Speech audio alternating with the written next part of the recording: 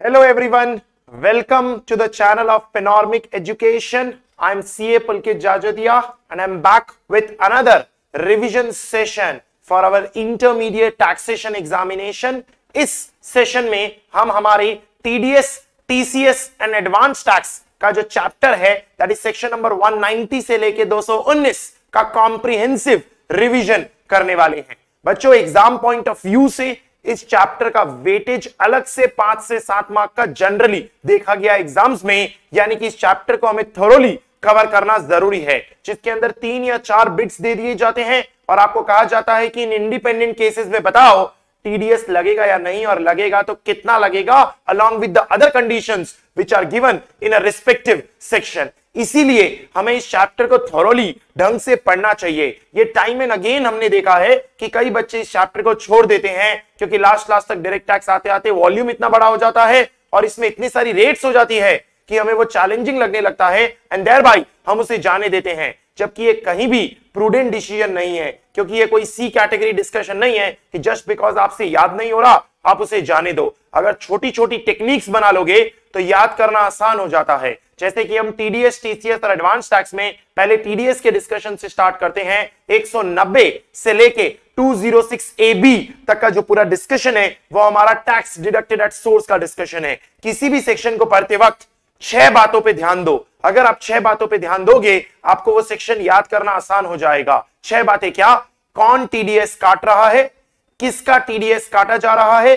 किस चीज़ पे टीडीएस काटा जा रहा है? किस रेट पे टीडीएस काटा जाएगा? कब टीडीएस काटना है एंड कब टीडीएस काटने की ज़रूरत नहीं है, यानी कि थ्रेश लिमिट तक है तो उस केस में टीडीएस की एप्लीकेबिलिटी नहीं होती। इन छह बातों पे आपको ध्यान रखना है, जिसमें हम सीक्वेंस में सेक्शन नंबर 192 से लेके 194 आर तक का डिस्कशन पूरा कॉम्प्रिहेंसिवली पहले कवर करेंगे। सबसे इंपॉर्टेंट चीज़ समझना 192 से लेके 194 आर जब आप इन सेक्शंस को पढ़ते हैं तो इन सेक्शंस में आपको जनरली ये देखने मिलता है कि टीडीएस तब काटना होता है व्हेन इट इज़ क्रेडिटेड और it has been paid whichever is earlier यानी at the time of credit और payment whichever is earlier generally आपको यही देखने मिलता है।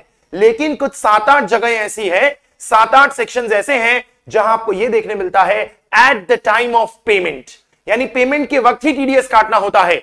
जस्ट बिकॉज़ क्रेडिट हो गया पेमेंट नहीं हुआ तो आपको टीडीएस काटने की ज़रूरत नहीं है। जबकि जनरली सारे सेक्शन में क्रेडिट और payment whichever is earlier है। मतलब सामने वाले को आपने पे नहीं भी किया तो भी अगर आपने उसे बुक्स में चढ़ा दिया है तो आपको उसके ऊपर टीडीएस काट के अगले महीने की सात तारीख तक सरकार को जमा करना पड़ जाएगा। जबकि कुछ सात आठ जगह ऐसी है जहाँ at the time of payment ही है। बेटर है इन सात आठ जगहों को आप सेपरेटली लिख लो कि कहाँ कहाँ at the time of payment बोला हुआ है। तो अगर मैं क्विकली आपके लिए समराइज करूँ तो सबसे पहले सैलरी सेक्शन 192 में at the time of payment कहा है। दूसरा 192 ए में जब आप ईपीएफ के प्री मेच्योर विड्रॉल करते हो। पचास हज़ार या उससे ज़्यादा तो जो उस पर टीडीएस काटा जाता है, दस टका, उसमें भी at the time of payment कहा हुआ है। तीसरा winnings winnings from lottery casual income horse races वगैरह जहाँ पर भी आपने रीड किया है, इन सब जगहों पे भी आपको कहा है at the time of payment ही होना चाहिए। That is 194 B and 194 BB चौथा, जहाँ लाइफ इंश्योरेंस पॉलिसी में चौर होती है, एक लाख या उससे ज़्यादा, उसमें जो पाँच टका और नेट प्रोसीड्स डिडक्ट किया जाता है, वो भी at the time of payment he deduct किया जाता है। 194 एलए जो हमारा कंपलसरी एक्विजिशन हो जाने पे कॉम्पेंसेशन मिलता है, और वो कॉम्पेंसेशन ढाई लाख से ज़्यादा है तो वहाँ पर भी at the time of payment ही आपको रीड करना होता है। And 194 and when cash is withdrawn from bank क्योंकि बैंक से जब कैश विड्रॉ करोगे, उस वक्त टीडीएस काटा जाएगा बाई दैट बैंक तो वो भी at the time of payment he cover किया जाता है. डिविडेंड सेक्शन 194 डिविडेंड के अंदर भी at the time of payment he TDS deduct होता है. इतनी जगहों पे ही at the time of payment है. बाकी सब जगह at the time of credit और payment whichever is earlier है. एक्सेप्ट एक सेक्शन है 194 आई बी जो स्पेशल सिचुएशन है. जिस स्पेशल सिचुएशन में तो यह कहा हुआ है कि आपको last month of the tenancy और last month of the previous year में ही टीडीएस काटना होता है। एकदम लास्ट में जो साल का आखिरी महीना है या टेनेंसी एग्रीमेंट का आखिरी महीना है, उसी में पूरा टीडीएस काटना है। वो एक स्पेशल सिचुएशन है। बाकी अगर हम देखने जाएँ तो मैंने जो भी आपको सात आइटम्स की लिस्ट बताई इन्हीं जगहों पे at the time of payment लिखा है। तो वो आप लिस्ट लिख ले कहीं पर तो इजी हो जाएगा। बाकी सब जगहों पे क्रेडिट और payment whichever is earlier ही आपको फॉलो करना होता है। ये पहली चीज़ मैंने आपके लिए आसान कर दी, जो छह बातें होती है, उसमें से ये बात, हर सेक्शन में कहाँ कहाँ क्या है, वो हमने पहले ही समराइज कर ली है। अब हम सेक्शन 192 से अपना डिस्कशन स्टार्ट करते हैं। 192 में सैलरी पे टीडीएस काटा जाता है। कौन काटेगा? कोई भी पर्सन जो एम्प्लॉयर है। किसका टीडीएस काटेगा? किसी इंडिविजुअल का जो एम्प्लॉय है। इंडिविजुअल रेसिडेंट भी हो सकता है नॉन रेसिडेंट भी हो सकता है। ध्यान रखना, पूरे टीडीएस चैप्टर में हम कभी भी कोई टीडीएस की रेट की बात करते हैं तो वो फिक्स रेट ऑफ़ टीडीएस ही है एक्सेप्ट सैलरी का सेक्शन जो सेक्शन 192 है, उसमें जब हम सैलरी के ऊपर टीडीएस की बात करते हैं तो it include surcharge as well as cess हम सब कुछ लगा के टीडीएस काटते हैं, जबकि इसके अलावा पूरा चैप्टर अगर कहीं पाँच टका बोला है तो पाँच टका, दस टका बोला है तो दस टका, बीस टका बोला है तो बीस टका। जो रेट बोली है वो फिक्स्ड है। उस पर कोई सरचार्ज या सेस नहीं लगाया जाएगा।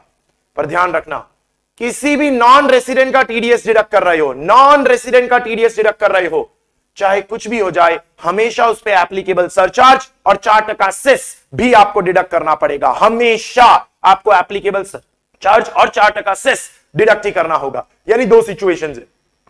नॉन रेसिडेंट को कुछ भी पे करो। नॉन रेसिडेंट को कुछ भी पे करो, अगर उस पर टीडीएस आ रहा है तो सरचार्ज और सेस लगाना है उस रेट ऑफ़ टीडीएस पे जो उस सेक्शन में लिखी हुई है। और अगर रेसिडेंट को पे कर रहे हो रेसिडेंट को तो सिर्फ़ सैलरी के केस में सरचार्ज और सेस लगाना है। सैलरी के अलावा और कुछ भी दे रहे हो रेसिडेंट को तो उसके ऊपर जो रेट फिक्स बोली हुई है हमने, वही रेट लगानी होगी। आप कोई सरचार्ज या सेस की एप्लीकेबिलिटी नहीं लगाएँगे। एंड साथ साथ में, पूरे चैप्टर में हमें कहीं पर भी बोला है कि पैन नंबर अवेलेबल नहीं है। पैन नंबर अवेलेबल नहीं है तो two zero six double A लग जाता है। और two zero six double A कहता है कि जो रेट आपके सेक्शन में लिखी हुई थी वो, या twenty percent whichever is higher लगा दिया जाएगा। जो भी रेट आपके उस सेक्शन में लिखी थी, या फिर जो ट्वेंटी परसेंट है विच एवर इज़ हायर हालाँकि, इसके तीन एक्सेप्शन हैं। ये तीन एक्सेप्शन अगेन नोट कर लेना। तीन एक्सेप्शन क्या है? 192 ए 192 ए 194 ओ and 194Q. 192A, 194O and 194Q. 192A क्या है? ईपीएफ e ईपीएफ e का जो कंट्रीब्यूशन होता है। ईपीएफ e वाले कंट्रीब्यूशन के अंदर हमें ऐसा कहा हुआ है कि अगर सामने वाले ने पैन नहीं दिया तो उसे मैक्सिमम मार्जिनल रेट पे टीडीएस काटना है। मैक्सिमम मार्जिनल रेट यानी 42.744 परसेंट पे आपको टीडीएस काटना पड़ जाएगा जो एमएमआर की रेट होती है 192 ए में।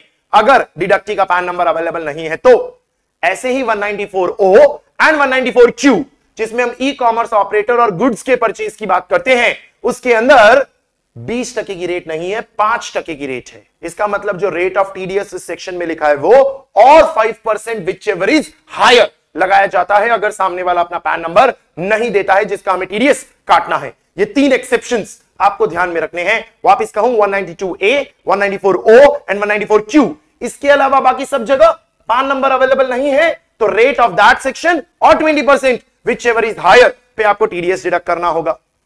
एक और ज़रूरी बात बिफोर वी कंटिन्यू 192 से लेके 194 आर में, हर सेक्शन में कुछ ना कुछ थ्रैश है। कि भाई इतने तक का अमाउंट होगा ना तो फिर उस केस में टीडीएस काटने की ज़रूरत नहीं है। इतने तक का अमाउंट होगा। लेकिन एक सेक्शन ऐसा है, जिसमें कोई थ्रैश नहीं है। यानी कि कितना भी अमाउंट हो टीडीएस काटना ही पड़ेगा। And that is 194 E 194 E जिसके अंदर हम non resident sportsman non resident athlete non resident sports association या non resident non citizen entertainer की बात करते हैं। For participating in any games और स्पोर्ट्स इन इंडिया और contributing to any article in India in newspaper in India guarantee amount वगैरह जो हम एसोसिएशन को पे करते हैं, उसके रिलेटेड हम 194 ई e में बात करते हैं। 194 ई e में हम सिर्फ़ नॉन रेसिडेंट्स की बात करते हैं। इस सेक्शन में कोई थ्रैशोल्ड ही नहीं है। इसका मतलब कि अगर आपने दस हज़ार रुपए भी दिए तो भी बीस टका plus applicable surcharge plus cess आपको डिडक्ट करना पड़ेगा। ये एक ऐसा सेक्शन है जिसमें थ्रैशोल्ड नहीं है। बाकी सब सेक्शंस में आपको कुछ ना कुछ एक थ्रैशोल्ड लिमिट दिखाई देती है। तो 194 ई e ध्यान में रखना। दूसरी, जब हम थ्रैशोल्ड लिमिट की बात करते हैं तो अगेन एक बात ज़रूरी है। ऐसे तीन सेक्शन है।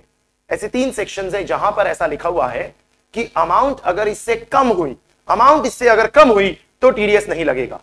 बाकी जितने सेक्शन हैं, उसमें थ्रेशोल्ड कैसे लिखी हुई है? अमाउंट इतने तक हुई, इतने तक हुई तो टीडीएस नहीं लगेगा। इसका मतलब ज़्यादातर सेक्शंस में लिखा है amount up to that is less than equal to और सिर्फ़ तीन जगह ऐसी है, जहाँ लिखा है amount less than less than मतलब अगर इक्वल टू हुई तो उस पर टीडीएस लग जाएगा। तो लेस देन वाली तीन जगह कौन सी है? 192 ए दैट इज़ ईपीएफ का कंट्रीब्यूशन इसमें एक पचास हज़ार की लिमिट आती है, जहाँ लिखा है लेस देन पचास हज़ार। मतलब अगर एग्जैक्ट पचास हुआ या उससे ज़्यादा हुआ तो उस पर दस टके का टीडीएस है। 194 DA 194 DA that is life insurance की मेच्योरिटी प्रोसीड के रिलेटेड एक थ्रेशोल्ड लिमिट दिया हुआ है, एक लाख। अगर एक लाख से कम है तो टीडीएस नहीं है। एक लाख या उससे ज़्यादा है तो पाँच टका टीडीएस लगा दिया जाएगा ऑन द नेट प्रोसीड्स तीसरा 194 आईए ये तो वैसे भी आपके लिए बहुत ज़रूरी है, क्योंकि इसमें अमेंडमेंट हुआ है प्रीवियस ईयर बाईस तेईस में और 194 आईए के अंदर क्या लिखा हुआ है कि अगर आपने कोई इमूवेबल प्रॉपर्टी के ट्रांसफ़र पे कुछ कंसिडरेशन दिया होगा तो वो कंसिडरेशन या स्टाम्प ड्यूटी वैल्यू अगर 50 लाख से कम है तो फिर उस केस में टीडीएस एप्लीकेबल नहीं किया जाएगा। बट अगर कंसिडरेशन या स्टाम्प ड्यूटी वैल्यू में से कोई भी एक 50 लाख या उससे ज़्यादा है तो फिर इसके ऊपर टीडीएस एक टके का डिडक्ट करना होगा। मतलब अगेन यहाँ पर लेस देन 50 लाख है। तो तीन सेक्शंस क्या हो गए आपके? 192 A less than 50,000 194 DA less than 1 lakh 194 IA less then 50 lakh 194 ई कोई लिमिट नहीं है। और बाकी सारे सेक्शंस में जो भी लिमिट दी हुई है टीडीएस में उन सब में आपको अप टू लैंग्वेज दिखाई देगी। ये अगेन ऐसी बात हो गई जो पूरे चैप्टर में आपको ध्यान रखनी होती है, इसलिए मैंने पहले डिस्कस कर लिया। अगेन एक चीज़ और, पूरे चैप्टर में कहीं पर भी आप किसी भी अमाउंट के ऊपर टीडीएस कर रहे हो तो that amount is exclusive of GST that amount is exclusive of GST जैसे कि मैं वर्क्स कॉन्ट्रैक्ट के अंदर सामने वाले को दो लाख का पेमेंट कर रहा हूँ तो दो लाख पे अठारह टका जीएसटी है तो दो लाख छत्तीस हज़ार का पेमेंट कर रहा हूँ तो जो मुझे टीडीएस काटना है, वो दो लाख पे काटना है। दो लाख छत्तीस हज़ार पे नहीं काटना, क्योंकि छत्तीस हज़ार जीएसटी की अमाउंट है जिसे एक्सक्लूसिव रखना है। इस बात को लेके सेक्शन 194 क्यू में एक इंपॉर्टेंट सर्कुलर है। 194 क्यू में क्या है कि अगर आप 50 लाख से ज़्यादा के परचेज ऑफ़ गुड्स करते हो तो आप जिस रेसिडेंट सेलर से परचेज कर रहे हो, उसका आपको 50 लाख के ऊपर जितना जाता है, उस पर टीडीएस काटना होता है। यह बात हम 194 क्यू में देखते हैं। जिस 194 क्यू के अंदर यह बात क्लियर की गई है कि अगर इनवॉइस बना होगा और इनवॉइस पे पेमेंट कर रहे होगे तो तो एक्सक्लूसिव ऑफ़ जीएसटी ले लोगे आप, और जो अमाउंट होगी उसी पे टीडीएस काटोगे। लेकिन अगर एडवांस पेमेंट कर रहे होगे तो एडवांस पेमेंट अगर मैं कर रहा हूँ उस रेसिडेंट सेलर को तो अभी तो मुझे पता ही नहीं है ना कि उस एडवांस पेमेंट में जीएसटी का कंपोनेंट कितना है, क्योंकि रेट ऑफ़ जीएसटी भी अभी शायद श्योर नहीं है। तो उस सिचुएशन में क्या होता है, जो एडवांस पेमेंट होती है, उस पर पूरे पे टीडीएस लगाया जाता है। पूरे पे इंक्लूसिव ऑफ़ जीएसटी क्योंकि हमें पता ही नहीं है कि जीएसटी का अमाउंट कितना है। बाकी अदरवाइज़ पूरे चैप्टर में हम हर जगह जो वैल्यू लेते हैं, वो एक्सक्लूसिव ऑफ़ जीएसटी लेते हैं, उस वैल्यू के ऊपर हम टीडीएस लगाते हैं। ये जो मैंने आपके साथ पहले ही कुछ इंपॉर्टेंट बातें डिस्कस कर ली विथ वेरियस सेक्शंस ये सबसे ज़रूरी है, इसीलिए मैंने इन्हें पहले डिस्कस कर लिया। अब एक एक एक करके हम सारे सेक्शंस डिस्कस कर लेते हैं। सेक्शन नंबर 192 सैलरी कोई भी एम्प्लॉयर कोई भी एम्प्लॉयर किसी इंडिविजुअल को, जो कोई भी हो सकता है रेसिडेंट या नॉन रेसिडेंट उसे सैलरी का पेमेंट कर रहा है तो पेमेंट करते वक्त उसे उसके ऊपर टीडीएस काटना होगा।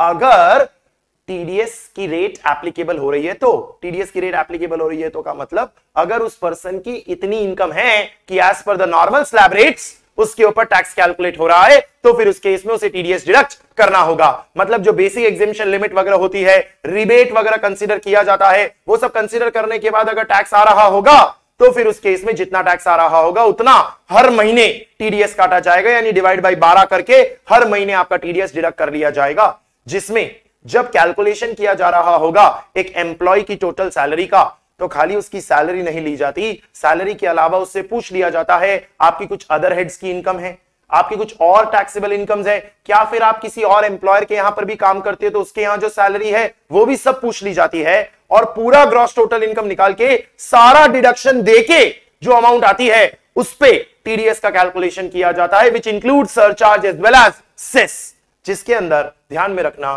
कि अगर एम्प्लॉय कहता है कि मेरा किसी हेड में लॉस है, मेरा किसी हेड में लॉस है तो हम सिर्फ़ और सिर्फ़ हाउस प्रॉपर्टी हेड का लॉस ही कंसीडर करेंगे for the purpose of calculating TDS बाकी हेड के लॉसेस हम कंसीडर नहीं करेंगे, सिर्फ़ हाउस प्रॉपर्टी हेड का लॉस कंसीडर करके हम उसे सेट करेंगे सैलरी के सामने और फिर जो टोटल इनकम आई होगी उसके ऊपर हम टीडीएस का कैलकुलेशन करेंगे। बाकी और कोई हेड के लॉसेस अलाउ नहीं किए जाएँगे। जिसमें obviously salary includes perquisites perquisites के साथ ही इसे कवर किया जाता है। कुछ क्लेरिफिकेशन वगैरह दिए हुए हैं जो हमने डिस्कस कर लिए बट इसमें एक इंपॉर्टेंट क्लेरिफिकेशन ये आता है कि अब आपको पता है, दो टैक्स रिजाइम्स है। एक नॉर्मल टैक्स रिजाइम और एक alternative tax regime alternative tax regime यानी उस इंडिविजुअल के पास ऑप्शन है कि वो 115 बीएसी में जा सकता है।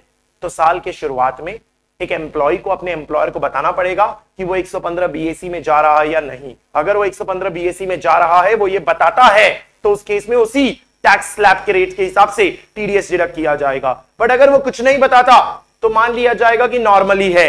ये डीम्ड ले लिया जाएगा कि आपने 115 बीएससी ऑफ़ नहीं किया है, और उसे नॉर्मल टैक्स रिजाइन के हिसाब से ही डिडक्ट किया जाएगा। अगर एक एम्प्लॉय मल्टीपल लोगों के यहाँ काम करता है, यानी उसके मल्टीपल एम्प्लॉयर्स हैं तो एक एम्प्लॉय अपनी चॉइस से किसी भी एम्प्लॉयर को सिलेक्ट कर सकता है कि ये एम्प्लॉयर मेरे सारे एम्प्लॉयर्स की सैलरी के ऊपर टीडीएस डिडक्ट करने वाला है। वो एम्प्लॉय की चॉइस होगी जो उसे एक्सरसाइज करनी होगी। इसी सेक्शन के रिलेटेड एक इंपॉर्टेंट डिस्कशन और आता है कि जो नॉन मॉनिटरी परक्विजिट्स होते हैं, जो एम्प्लॉयर एम्प्लॉय को देता है, उसके ऊपर भी टैक्स आता है, उसके ऊपर भी टीडीएस डिडक्ट करना होता है। बट इस नॉन मॉनिटरी परक्विजिट्स के ऊपर जो टैक्स होता है, वो चाहे तो एम्प्लॉयर पे कर सकता है एम्प्लॉय के बिहाफ पे। यानी वो एम्प्लॉय जो नॉन मॉनिटरी परक्विजिट्स पे टैक्सेस पे करने के समर्थ नहीं है और एम्प्लॉयर कहता है, कोई बात नहीं, मैं भर दूँगा। तो वो जो टैक्स और नॉन मॉनिटरी परक्विजिट है, जो एम्प्लॉयर पे करता है ऑन बिहाफ ऑफ़ एम्प्लॉय वो एम्प्लॉय के हाथ में एग्जिम्ट होता है अंडर सेक्शन 1010 सीसी और जो टैक्स एम्प्लॉयर ने पे किया, उसे पीजीबीपी कैलकुलेट करते वक्त उसका डिडक्शन नहीं मिलता। यानी अगर पीएनएल में टैक्स और non monetary perquisite paid by the employer on behalf of employee दिखाई देता है तो हमें उसे एड बैक कर देना होता है, उसे डिस अलाउ कर दिया जाता है। इतनी बातें हमारी सेक्शन 192 में होती है। इस चीज़ के रिलेटेड एक छोटा सा केस लॉ हुआ था आईटीसी कंपनी का, जिसके अंदर कहा गया था कि जो टिप्स वगैरह दी जाती है by the customers to the waiters तो क्या उसके ऊपर होटल को वेटर्स को उसे पास ऑन करते वक्त टीडीएस काटना होता है तो द आंसर इज़ नो क्योंकि जो टिप्स दी गई है by the customer to the waiters through the hotel management उसे हम सैलरी नहीं मानते, इसलिए उसके ऊपर कोई टीडीएस एप्लीकेबल नहीं किया जाता है। ये हमारे सेक्शन 192 के जितने रेलेवेंट पॉइंट्स थे, वो हमारे कवर हो जाते हैं। नेक्स्ट अब हम कंटिन्यू करते हैं विद सेक्शन 192 ए 192 ए क्या है? आपने एम्प्लॉय प्रोविडेंट फंड में से प्री मेच्योरली विड्रॉ किया है। प्री मेच्योरली विड्रॉ किया है मतलब आपने सैलरी चैप्टर में पढ़ा हुआ है कि अगर पाँच साल की कंटिन्यूस सर्विस के पहले अगर आप अपने रिकॉग्नाइज प्रोविडेंट फंड से विड्रॉल कर लोगे, पाँच साल की कंटिन्यूस सर्विस के पहले तो फिर उस अमाउंट को टैक्सेबल कर दिया जाता है। एंड देयर बाय अगर आपने five years of continuous service के पहले विड्रॉल कर लिया तो उस प्री मेच्योर विड्रॉल पे टीडीएस लग जाएगा सेक्शन 192 में, जिसमें टीडीएस काटेगा कौन? रिकॉग्नाइज प्रोविडेंट फंड का ऑफिसर किसका टीडीएस काटा जाएगा? एक इंडिविजुअल का टीडीएस काटा जाएगा। कब काटा जाएगा? At the time of payment किस रेट पे काटा जाएगा? दस टका। हालाँकि अगर अमाउंट पचास हज़ार से कम है तो कोई टीडीएस नहीं लगाया जाएगा। पचास हज़ार या उससे ज़्यादा है तो पूरे पे दस टका टीडीएस लगा दिया जाएगा। अज्यूमिंग दैट कि हमें उस इंडिविजुअल का पैन नंबर अवेलेबल है। अगर इंडिविजुअल का पैन नंबर अवेलेबल नहीं है तो उसे एमएमआर पे डिडक्ट किया जाएगा। मैक्सिमम मार्जिनल रेट पे लगाया जाएगा। इस सेक्शन का बनाने के पीछे ऑब्जेक्टिव बड़ा सिंपल सा है कि हम नहीं चाहते कि इसमें से लोग पैसा निकालें, इसमें पैसा लोग रखें ताकि अपने रिटायरमेंट के लिए वो उसे सेव कर सके। इसी ऑब्जेक्टिव से हमने इसे टैक्सेबल किया। पाँच साल की कंटिन्यूस सर्विस नहीं हुई तो एंड उसके ऊपर दस टके का टीडीएस लगा दिया। ये जो एमएमआर पे टीडीएस काटा जाएगा, इस बात को अमेंड कर दिया गया है। और कहा गया है, अगर पैन नंबर नहीं होगा तो मैक्सिमम 20 टके पे टीडीएस काटा जाएगा 20 परसेंट पे काटा जाएगा। यानी जैसा बाकी सेक्शंस में होता था। बाकी सेक्शंस में आप पहले से ये बात जानते थे two zero six double A अगर पैन प्रोवाइड ना करे एंड जो रेट दी है उस सेक्शन में वो, या twenty percent whichever is higher लेकिन 192 ए एक्सेप्शन था, जिसमें लिखा था कि नहीं पैन नहीं दिया तो मैक्सिमम मार्जिनल रेट लगा देंगे विच वॉज़ ह्यूज उसे अमेंड करके रैशनलाइज किया है और कहा है कि 192 ए में अब ऐसी कोई स्पेशल बात नहीं होगी। इस सेक्शन में भी जो टीडीएस है, वो मैक्सिमम 20 टके पे ही काटा जाएगा। मतलब लॉ का सेक्शन क्या था? 10 टका। पैन दिया तो दस टका पैन नहीं दिया तो दस टका और बीस टका विच एवर इज़ हायर बीस टका लागू कर दिया जाएगा तो इतनी सी बात 192 ए में बदली है the rate shall be 20 percent instead of the maximum marginal rate even if the recipient does not provide his PAN. So if there is PAN of the recipient, 10%. If there is no PAN, then it is 20%. Simple छोटा सा change 192A हो गया हमारा then आता है section number 193 interest on securities what is interest on securities debentures bonds वगैरह जो होते हैं, उसके ऊपर अगर आपको कुछ ब्याज का पेमेंट कर रहे हो तो वो जो ब्याज है, वो पे करते वक्त उसके ऊपर टीडीएस काटना पड़ेगा। कौन ब्याज पे कर रहा है? कोई भी पर्सन किसको पे कर रहा है? किसी रेसिडेंट को पे कर रहा है। तो फिर उस केस में अगर वो उसके ऊपर इंटरेस्ट का पेमेंट कर रहा है तो at the time of credit और payment whichever is earlier उसे दस टका उसके ऊपर टीडीएस काटना होगा। हालाँकि इसके कुछ एक्सेप्शन है। एक्सेप्शन है, इसका मतलब टीडीएस लागू नहीं किया जाएगा in case of interest on securities इसमें सारे पॉइंट्स इतने इंपॉर्टेंट नहीं है, लेकिन कुछ पॉइंट इंपॉर्टेंट है जो आपको ध्यान में रखने हैं। अगर डिबेंचर्स के ऊपर ब्याज दिया जा रहा है डिबेंचर्स के ऊपर किसी रेसिडेंट इंडिविजुअल या रेसिडेंट एच को, और अगर वो ब्याज पाँच हज़ार रुपए तक है, चाहे वो डिबेंचर लिस्टेड हो या अनलिस्टेड हो तो उसके ऊपर कोई टीडीएस की एप्लीकेबिलिटी नहीं है। इसका मतलब इंटरेस्ट दिया जा रहा है डिबेंचर्स पे किसी रेसिडेंट इंडिविजुअल या एचयूएफ को तो अगर वो पाँच हज़ार से ज़्यादा होगा तो ही उसके ऊपर पूरे अमाउंट पे टीडीएस लगाया जाएगा, नहीं तो वो दस टके का टीडीएस नहीं लगाया जाएगा। ऐसे ही कुछ सरकारी बॉन्ड्स होते हैं, जो 2018 के बॉन्ड्स हैं या 2003 के बॉन्ड्स हैं, जिसके ऊपर कुछ रेट ऑफ़ इंटरेस्ट बताई हुई है। अगर वो बॉन्ड्स पे दस हज़ार रुपए तक का ही इंटरेस्ट मिल रहा है तो वो दस हज़ार रुपए तक के इंटरेस्ट के ऊपर कोई टीडीएस नहीं डिडक्ट किया जाएगा। बट अगर दस हज़ार से ज़्यादा मिल रहा है तो पूरे अमाउंट पे टीडीएस डिडक्ट कर लिया जाएगा। तो जो टैक्स सेविंग बॉन्ड्स होते हैं, जो गवर्नमेंट वगैरह इश्यू करती है, उसके अंदर दस हज़ार की लिमिट आपको देखनी होती है। ऐसे ही नेशनल डिफेंस बॉन्ड्स हैं, या फिर नेशनल डेवलपमेंट बॉन्ड्स हैं तो उसके ऊपर कोई टीडीएस की एप्लीकेबिलिटी नहीं है। टीडीएस डिडक्ट ही नहीं करना, चाहे अमाउंट कुछ भी हो, उससे कोई फ़र्क नहीं पड़ता है। ये सेक्शन 193 हो गया इंटरेस्ट ऑन सिक्योरिटीज ये सेक्शन इतना इंपॉर्टेंट नहीं है, इतना ज़रूरी नहीं है जितना इंपॉर्टेंट हमारे नेक्स्ट सेक्शन है। 194 डिविडेंड डिविडेंड के अंदर एक इंडियन कंपनी एक इंडियन कंपनी किसी रेसिडेंट को डिविडेंड पे कर रही है तो डिविडेंड पे करते वक्त उसके ऊपर 10 टका टीडीएस आपको डिडक्ट करना होगा,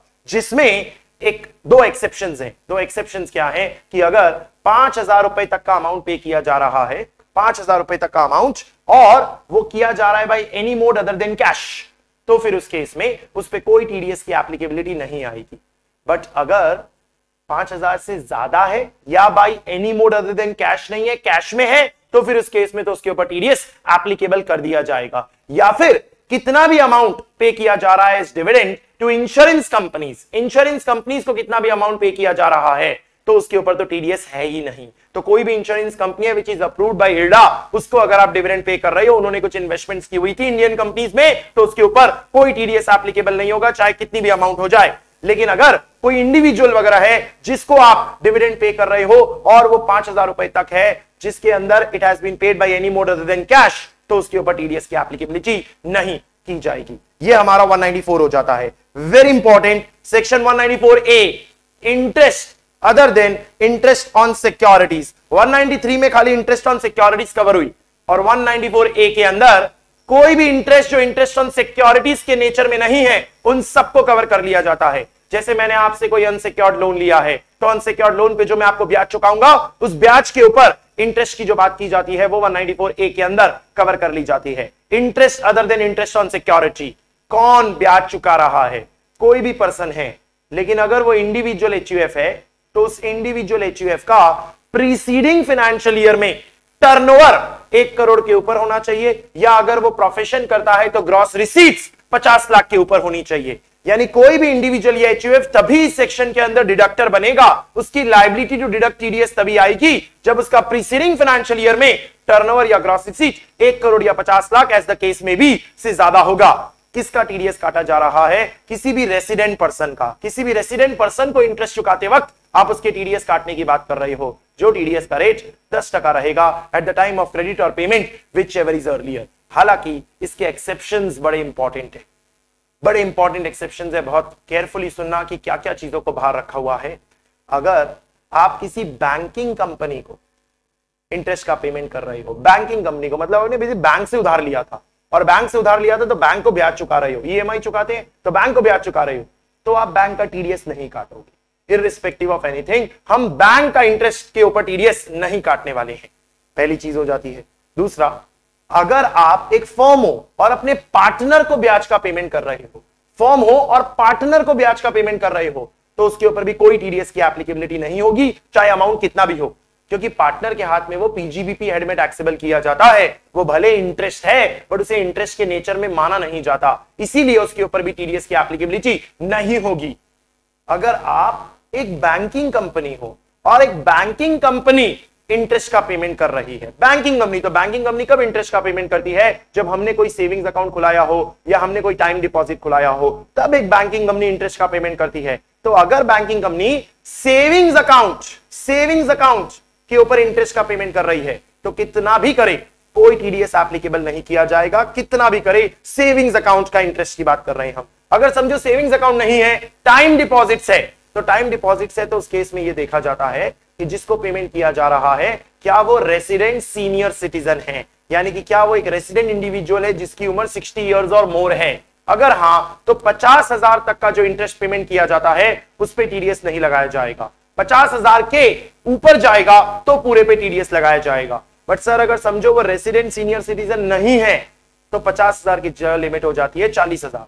फोर्टी थाउज़ेंड की लिमिट आपको फॉलो करनी होती है। यानी कि अगर किसी टाइम डिपॉजिट पे बैंकिंग कंपनी किसी पर्सन को ब्याज दे रही है तो चालीस हज़ार तक का थ्रेश है। और अगर वो पेई या वो डिडक्टी वो पर्सन रेसिडेंट सीनियर सिटीजन है तो पचास हज़ार तक की लिमिट है। पचास हज़ार तक कोई टीडीएस नहीं डिडक्ट किया जाएगा। उसके ऊपर गया तो पूरे पे टीडीएस लगा दिया जाएगा। ऐसे ही फिर 194 ए कहता है, और किसी भी तरह का ब्याज हो, और किसी भी तरह का ब्याज हो मतलब अनसिक्योर्ड लोन्स वगैरह है, और अनसिक्योर्ड लोन्स पे आप इंटरेस्ट चुका रहे हो तो पाँच हज़ार की लिमिट है। पाँच हज़ार तक होगा तो कोई टीडीएस मत काटो, चिल्लर अमाउंट है। पाँच हज़ार से ज़्यादा होगा तो पूरे पे टीडीएस लगा दिया जाएगा। तो फाइव थाउज़ेंड की एक बेसिक थ्रेश हो जाती है। इसके अलावा भी कुछ चीज़ें और हम डिस्कस कर लेते हैं जिसपे सवाल बने जा सकते हैं। ये जब हम कहते हैं ना कि एक बैंक किसी पर्सन का टीडीएस काटता है। बैंक और चालीस हज़ार और पचास हज़ार की लिमिट है in case of time deposit savings account पे तो वो काटेगा ही नहीं।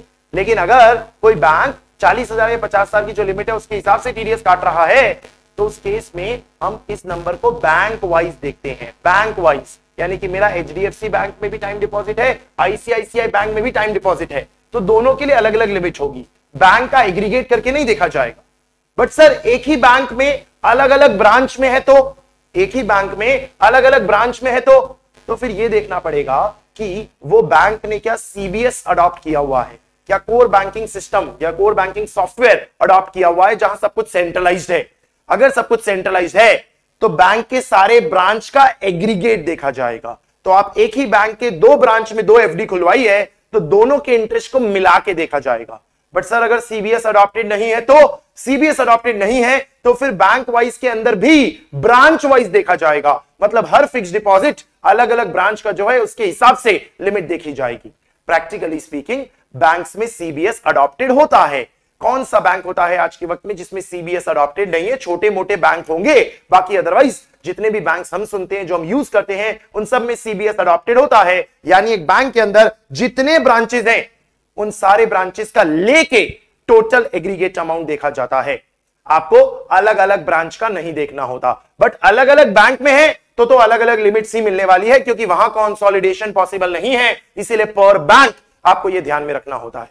इसके अलावा एक आध क्लेरिफिकेशन और। ज़ीरो कूपन बॉन्ड्स जो होते हैं, उसके ऊपर जो इंटरेस्ट होगा उस पर कोई टीडीएस नहीं एप्लीकेबल किया जाएगा। ज़ीरो कूपन बॉन्ड्स के ऊपर जो इंटरेस्ट पे किया जाएगा, उस पर कोई टीडीएस एप्लीकेबल नहीं होगा। प्रैक्टिकली स्पीकिंग उस पर इंटरेस्ट होता ही नहीं है ना। उसके ऊपर तो आप सीधे मेचोरिटी पे फेस वैल्यू या प्रीमियम पे रिडीम करते हो और इश्यू प्राइस आपका डिस्काउंट पे हुआ होता है। तो वो अमाउंट होता है, वो एक तरीके से इंटरेस्ट की तरह ट्रीट किया जाता है। बट उस इंटरेस्ट के ऊपर कोई टीडीएस नहीं लगाया जाएगा। ये क्लैरिफिकेशन हो गया। दूसरा, भारत सरकार आपको इनकम टैक्स रिफंड देती है। तो इनकम टैक्स रिफंड देती है तो उसके ऊपर भी ब्याज होता है। वो इनकम टैक्स रिफंड पे जो ब्याज होता है, उस पर आपको भारत सरकार का टीडीएस नहीं काटना है। तो interest on income tax refund के ऊपर कोई टीडीएस नहीं काटा जाएगा। तो इस तरीके से ये कुछ इंपॉर्टेंट क्लेरिफिकेशन हो गए। बट ये ध्यान में रखना interest on income tax refund IFO इसमें टैक्सेबल होता है।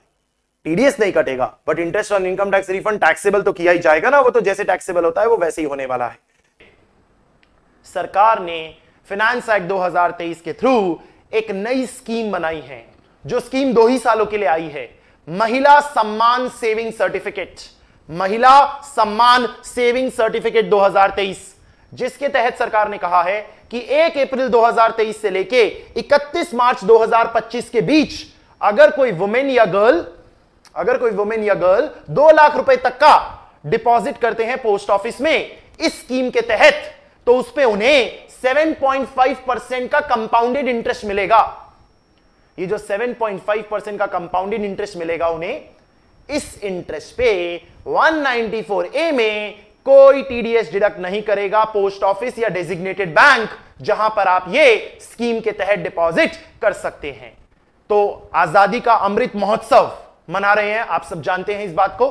पिछहत्तर साल से ज़्यादा हो गए हैं हमारी आज़ादी को एंड देर बाई ऐसी कई सारी हमने स्कीम्स फॉर्मुलेट की है उस महोत्सव के तहत। एंड ये भी उन्हीं स्कीम्स में से एक स्कीम है जो हमने इस महोत्सव के तहत फ्रेम किया है जिसमें हम वुमेन्स को डिपॉजिट करने पे बेनिफिट्स प्रोवाइड करना चाहते हैं to encourage and thereby इस डिपॉजिट के ब्याज पे कोई टीडीएस नहीं लगाया जाएगा। इतनी सी बात यहाँ कवर कर, जा, कर ली जाएगी। यानी कि इंटरेस्ट का अमाउंट चालीस हज़ार से ज़्यादा है पचास हज़ार से ज़्यादा है irrelevant no TDS if the interest is due to deposit made as per महिला सम्मान सेविंग सर्टिफिकेट ये सारी बात आपको पहले से पता है, वो आप रीड कर सकते हैं। खाली मेन बात क्या पढ़नी है? Mahila Samman saving certificate is a one time scheme available for two years from first of April 2023 to thirty first of March 2025 जिसके अंदर आप मैक्सिमम डिपॉजिट दो लाख का कर सकते हैं in the name of a women और गर्ल अगर माइनर गर्ल है तो उनके बिहाफ पे भी किया जा सकता है। For two years at a fixed interest rate of 7.5 percent per annum compounded quarterly तो इस तरीके से आपको ब्याज दिया जाएगा। No tax under section 194 A would be deductible by the post office on the interest paid और credited since the amount of interest would not exceed 40,000 तो यहाँ पर वैसे भी 40,000 हज़ार क्रॉस नहीं होगा बट एनी हाउस स्कीम को नोटिफाई करके कह दिया है कि इस सेक्शन के अंदर टीडीएस नहीं काटा जाएगा। सिंपल बात खत्म। दो साल का आपका कितना भी ब्याज हो it does not matter no TDS would be deducted तो कोई बहुत इंपॉर्टेंट अमेंडमेंट नहीं है। आपको ये लैंग्वेज दिखाई दे। महिला सम्मान सेविंग सर्टिफिकेट 2023 उसके तहत डिपॉजिट किया। आपको पोस्ट ऑफ़िस ने ब्याज दिया, चाहे क्रेडिट किया या पे किया, कितना भी ब्याज हो, कोई टीडीएस नहीं काटा जाएगा। दैट्स इट ये 194 ए का हमारा अमेंडमेंट ये इंपॉर्टेंट बातें 194 ए के रिलेटेड हो गई हमारी। नेक्स्ट आते हैं 194 बी एंड 194 बीबी जो बड़े सिंपल से डिस्कशन है। बी और बीबी के अंदर लिखा हुआ है, कोई भी कैजुअल इनकम है या रेस हॉर्सेस की कोई विनिंग है तो उस केस में किसी भी पर्सन ने किसी भी पर्सन को at the time of payment at the time of payment अगर पेमेंट की होगी तो दस हज़ार से अगर ज़्यादा की होगी, दस हज़ार से ज़्यादा तो पूरे अमाउंट पे थर्टी परसेंट टीडीएस लगा दिया जाएगा। इस बात से फ़र्क नहीं पड़ता कि मॉनेटरी फॉर्म में की है या फिर नॉन मॉनेटरी फॉर्म में की है। किसी भी तरह की विनिंग है, किसी भी तरह की कैजुअल इनकम है, उसके ऊपर फ्लैट थर्टी परसेंट का टीडीएस लगा दिया जाएगा। Any person to any person अगर अमाउंट दस हज़ार क्रॉस हुई होगी तो। अगर दस हज़ार तक है तो कोई टीडीएस नहीं लगेगा। टैक्सेबल तो होगा ही लेकिन कोई टीडीएस नहीं लागू किया जाएगा। जिसमें भी एक छोटी सी इंपॉर्टेंट बात है कि अगर समझो, मैंने हॉर्स रेसेस पे बैटिंग की। मैंने पहली बैट लगाई और मैं हार गया। दस हज़ार का मेरा नुकसान हो गया। मैंने दूसरी बेट लगाई और मैं जीत गया। और तीस हज़ार का मेरा फ़ायदा हो गया। थर्टी थाउज़ेंड की मेरी विनिंग्स है। तो पहले बेट पे मैं दस हज़ार हारा हूँ और दूसरे बेट पे तीस हज़ार जीता हूँ। तो जो टीडीएस काटा जाएगा, वो पूरे तीस हज़ार पे काटा जाएगा। पूरे तीस हज़ार पे। नेट करके नहीं किया जाता। क्योंकि वो set off of losses allowed नहीं होते हैं। जब आप कैजुअल इनकम या बेटिंग वगैरह की बात करते हो, क्योंकि वो लॉस अलाउ ही नहीं किया जाता, ये बात हम set off and carry forward के चैप्टर में भी रीड करते हैं that loss is not allowed to be set off against any income इसलिए वो जो दस हज़ार का नुकसान हुआ था एक बेट पे, उसे इग्नोर करो। जो तीस हज़ार का फ़ायदा हुआ है, उस तीस हज़ार पे फ्लैट फ्लैट आपको थर्टी परसेंट टीडीएस लगा दिया जाएगा। फ्लैट थर्टी परसेंट तो ग्रॉस पे लगाया जाएगा। नेट आप नहीं कर सकते हो। ये 194 बी एंड 194 बीबी का डिस्कशन हो जाता है हमारा। अब ये जो दस हज़ार की अमाउंट थी ना, जो दस हज़ार की लिमिट थी, इसको लेके एक बड़ा प्रॉब्लम था कि ये दस हज़ार सिंगली देखना है या पूरे फाइनेंशियल ईयर का देखना है। और क्योंकि क्लैरिटी नहीं थी, इसे ऐसा माना जा रहा था कि दस हज़ार सिंगली देखना है, क्योंकि इन्हें फाइनेंशियल ईयर नहीं लिखा हुआ था। सिंगली देखना है। मतलब कि हर बार जब विनिंग हो रही है तब विनिंग क्या कर रही जा रही थी? दस दस हज़ार से कम विड्रॉ की जा रही थी मल्टीपल टाइम्स एंड दस दस हज़ार से कम मल्टीपल टाइम्स विड्रॉ की भी जा रही है एक ही फाइनेंशियल ईयर में तो उस पर टीडीएस नहीं लग रहा, क्योंकि 194 बी और बीबी के अंदर लिखा है at the time of payment अगर दस हज़ार से ज़्यादा है तो पूरे पे टीडीएस लगेगा। इस तरह से मल्टीपल विड्रॉल्स किए जा रहे थे, दस दस हज़ार तक, और कहा जा रहा था इस पर टीडीएस नहीं लगेगा। तो क्योंकि ये मिस यूटिलाइजेशन हो रहा था, एक लकूना का, उसे ठीक करने के लिए गवर्नमेंट ने कहा कि यहाँ जो दस हज़ार है, वो सिंगली एंड एग्रीगेट देखा जाएगा। इसका मतलब कि अगर सिंगल पेमेंट दस हज़ार क्रॉस नहीं भी हुई, लेकिन during the financial year multiple payments का एग्रीगेट दस हज़ार क्रॉस हो गया तो जिस पॉइंट ऑफ़ टाइम पे क्रॉस होगा, उस पॉइंट ऑफ़ टाइम पे पूरे पे टीडीएस लगा दिया जाएगा। ये इन्होंने यहाँ पर इंसर्ट कर दिया कि aggregate in a financial year देखा जाएगा। बस, ये इतनी सी बात 194 बी और बीबी के अंदर डाल दी गई है और कुछ भी नहीं किया गया नया सेक्शन है। 194 बीए न्यूली इंट्रोड्यूस्ड है। 194 बीए जानने के लिए पहले 115 बीबीजे का स्मरण होना चाहिए। 115 बीबीजे आपका पहले क्लियर होना चाहिए देन आप 194 बीए में जाएँगे। 115 बीबीजे हमने इनकम फ्रॉम अदर सोर्स में पढ़ा था और इनकम फ्रॉम अदर सोर्स में पढ़ते वक्त हमने कहा था कि अब ऑनलाइन गेम्स से जो नेट विनिंग्स होगी ऑनलाइन गेम से जो नेट विनिंग्स होगी, वो स्पेशल सेक्शन 115 बीबीजे के तहत टैक्सेबल की जाएगी at a flat rate of 30 percent plus applicable surcharge plus चार टका सेस जिस विनिंग के सामने कोई खर्चा, कोई डिडक्शन कोई set off of loss provide नहीं किया जाएगा। हालाँकि ये जो विनिंग्स है, उसे नेट विनिंग्स कहा गया है और ये नेट विनिंग्स कैसे निकाली जाएगी, वो रूल्स के अंदर बताया गया है। But the best part for CA intermediate students is कि वो रूल का कंप्यूटेशन आपके सिलेबस में नहीं डाला है। इसका मतलब नेट विनिंग्स निकालते कैसे हैं, उस पर आपको क्वेश्चन नहीं पूछा जाएगा। नेट विनिंग्स आपको दिया होगा क्वेश्चन में और आपको उसके ऊपर flat thirty percent plus applicable surcharge plus चार टका सेस उसके सामने कोई डिडक्शन नहीं, कोई खर्चा नहीं, कोई लॉस का सेट ऑफ़ नहीं और सीधे टैक्सेबल कर देना होगा।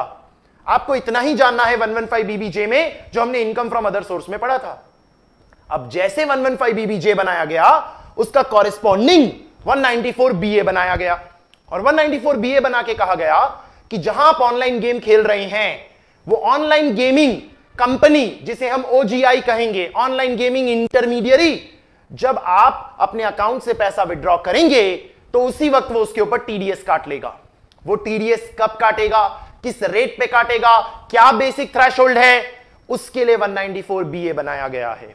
तो 194 BA is because of 115 BBJ आपको ऐसा फील होना चाहिए। Sir this is sounding very similar to जैसे 115 बीबी के लिए कैजुअल इनकम के लिए 194 बी और 194 बीबी बनाया हुआ है। वैसे ही यहाँ 194 बीए बनाया गया है for 115 BB J same logic से। अभी तक ऑनलाइन गेम्स की जो विनिंग है, वो 115 बीबी में ही चार्ज की जा रही थी। और अब उसके लिए एक separate charging section 115 BB J बनाया क्योंकि उसकी पूरी मेथड ऑफ़ कंप्यूटेशन अलग से रूल्स में नोटिफाई की गई है। तो अभी तो पहले हमें 194 बीए सुनना है कि 194 बीए में क्या डाला गया। तो किसी भी टीडीएस के सेक्शन में आपका ध्यान छह चीज़ों पे होता है। उन छह चीज़ों का आपको क्लैरिटी चाहिए। छह चीज़ें क्या होती है? डिडक्टर कौन होगा? डिडक्टी कौन होगा? किस चीज़ पे टीडीएस काटा जाएगा? कब टीडीएस काटा जाएगा? किस रेट पे टीडीएस काटा जाएगा? और कब छोटा सा अमाउंट होने पे इनसिग्निफिकेंट अमाउंट होने पे थ्रैशोल्ड तक होने पे कोई टीडीएस नहीं काटा जाएगा। हमें इन छह बातों को देखना है 194 बीए में। पहले लैंग्वेज पढ़ लेते हैं। 194 बीए हैज़ बीन इंसर्टेड नया आया है।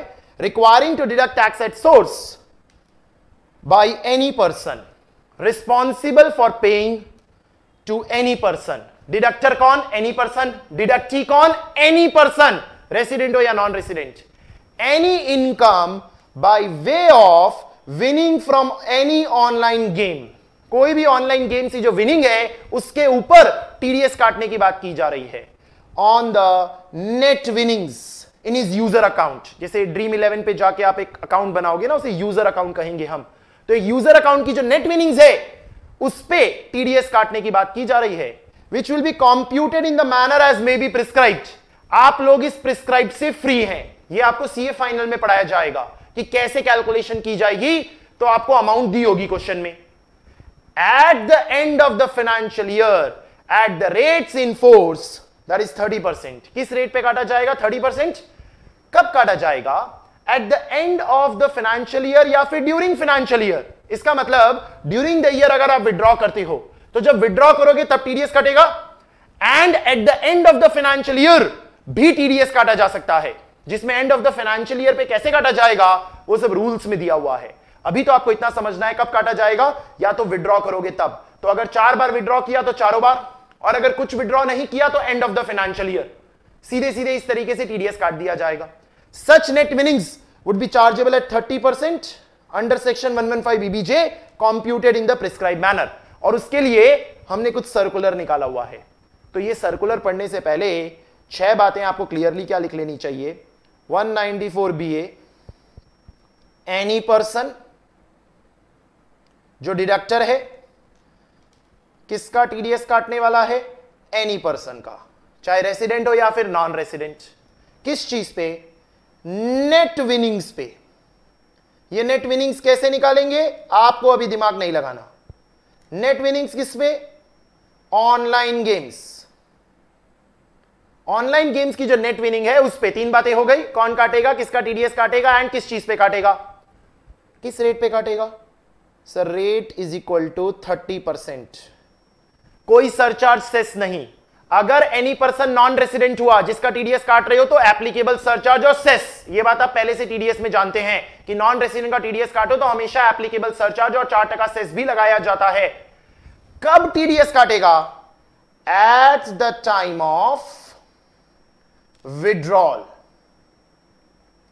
जब भी विड्रॉल किया जाएगा, या फिर at the end of financial year इन दोनों में से जो भी, दोनों भी हो सकता है एंड भी हो सकता है। जैसे कि ड्यूरिंग द ईयर चार बार विड्रॉ किया तो चार बार और end of the financial year पे तो होगा ही। और अगर कुछ विड्रॉ नहीं किया तो end of the financial year मतलब at the end of the financial year तो होगा ही। उस समय तो टीडीएस काटा ही जाएगा। इसके अलावा ड्यूरिंग द ईयर जब भी विड्रॉ होगा, तब भी टीडीएस काटा जाएगा।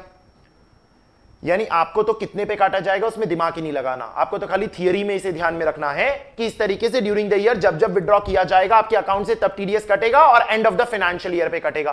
पाँच बातें हो गई। Any person to any person net winning from online game पे, तीस टके की रेट पे at the time of withdrawal and और at the time of end of the financial year sir what about that threshold no TDS up to ऐसा sir हम हर section में पढ़ते हैं ना, कुछ ही सेक्शन है जिसमें थ्रैशोल्ड नहीं है। इस सेक्शन में भी जब ये सेक्शन नोटिफाई किया गया तो कोई थ्रैशोल्ड नहीं दिया था। लेकिन फिर, मई के महीने में, मई 2023 के महीने में, सरकार ने नोटिफिकेशन और सर्कुलर्स निकाले और उसमें थ्रैशोल्ड दिया है। और हमें उस थ्रैशोल्ड को, उस सर्कुलर के थ्रू पढ़ना होगा। सर्कुलर में बहुत सारे क्वेश्चन है, पर आपके सिलेबस में तीन ही क्वेश्चन शामिल किए गए हैं। आपको तीन ही पढ़ने हैं। बड़े सिंपल सिंपल हैं, जिसमें पहला बड़ा ज़रूरी है। पहला क्या लिखा है? There are large number of gamers who play with very insignificant amount and withdraw also very small amount deducting tax on such insignificant withdrawal would increase compliance for tax deductor can there be a relaxation to ease compliance जब section आया ना, तब बड़ा बवाल मचा, क्योंकि section तो एक फरवरी को ही आ गया 2023 और कोई थ्रेशोल्ड नहीं डाला गया सेक्शन में। यानी समझो मेरा ड्रीम इलेवन पे एक अकाउंट है और उस ड्रीम इलेवन के अकाउंट में से मैंने चालीस रुपए जीते और चालीस विड्रॉ किए तो चालीस रुपए पे टीडीएस लगेगा थर्टी परसेंट का। आप सोच के देखो तो हर छोटे छोटे अमाउंट पे टीडीएस लगेगा। ऐसे ये जो कंपनियाँ हैं ऑनलाइन गेमिंग वाली, ये तो परेशान हो जाएगी। हर छोटे छोटे अमाउंट पे टीडीएस लग रहा है। और सोचो मैं कोई इनकम नहीं कमाता हूँ खास। 200-300 रुपए थे, उससे खाता बनाया और उससे मैं टीम्स बनाता हूँ। पोकर खेलता हूँ, ये सारी चीज़ें जो आज का यूथ कर रहा है, वो सब करता हूँ। और उस पर मेरे हर छोटी छोटी विनिंग पे टीडीएस काटा जा रहा है क्योंकि थ्रेशोल्ड तो है ही नहीं, जबकि पहले ये 194 बी में जाता। और 194 बी में आप जानते हैं 10000 का थ्रेशोल्ड है तो 10000 का थ्रेशोल्ड काफ़ी हो गया ना, जब तक 10000 क्रॉस नहीं होगा, तब तक टीडीएस कटेगा नहीं। तो गवर्नमेंट ने कहा कि यार, ये तो बड़ा भारी कंप्लायंस हो जाएगा। जब लोगों ने रिक्वेस्ट की, जो इन ऑनलाइन गेमिंग इंडस्ट्रीज़ ने तो गवर्नमेंट ने फिर कहा कि हाँ, चलो ठीक है, हम एक थ्रेशोल्ड लेते हैं। और थ्रेशोल्ड क्या दिया? Tax may not be deducted may not be deducted may not be deducted choice दे दी। क्योंकि अगर किसी ऑनलाइन गेमिंग कंपनी को टीडीएस डिडक्ट करना है, कर सकता है।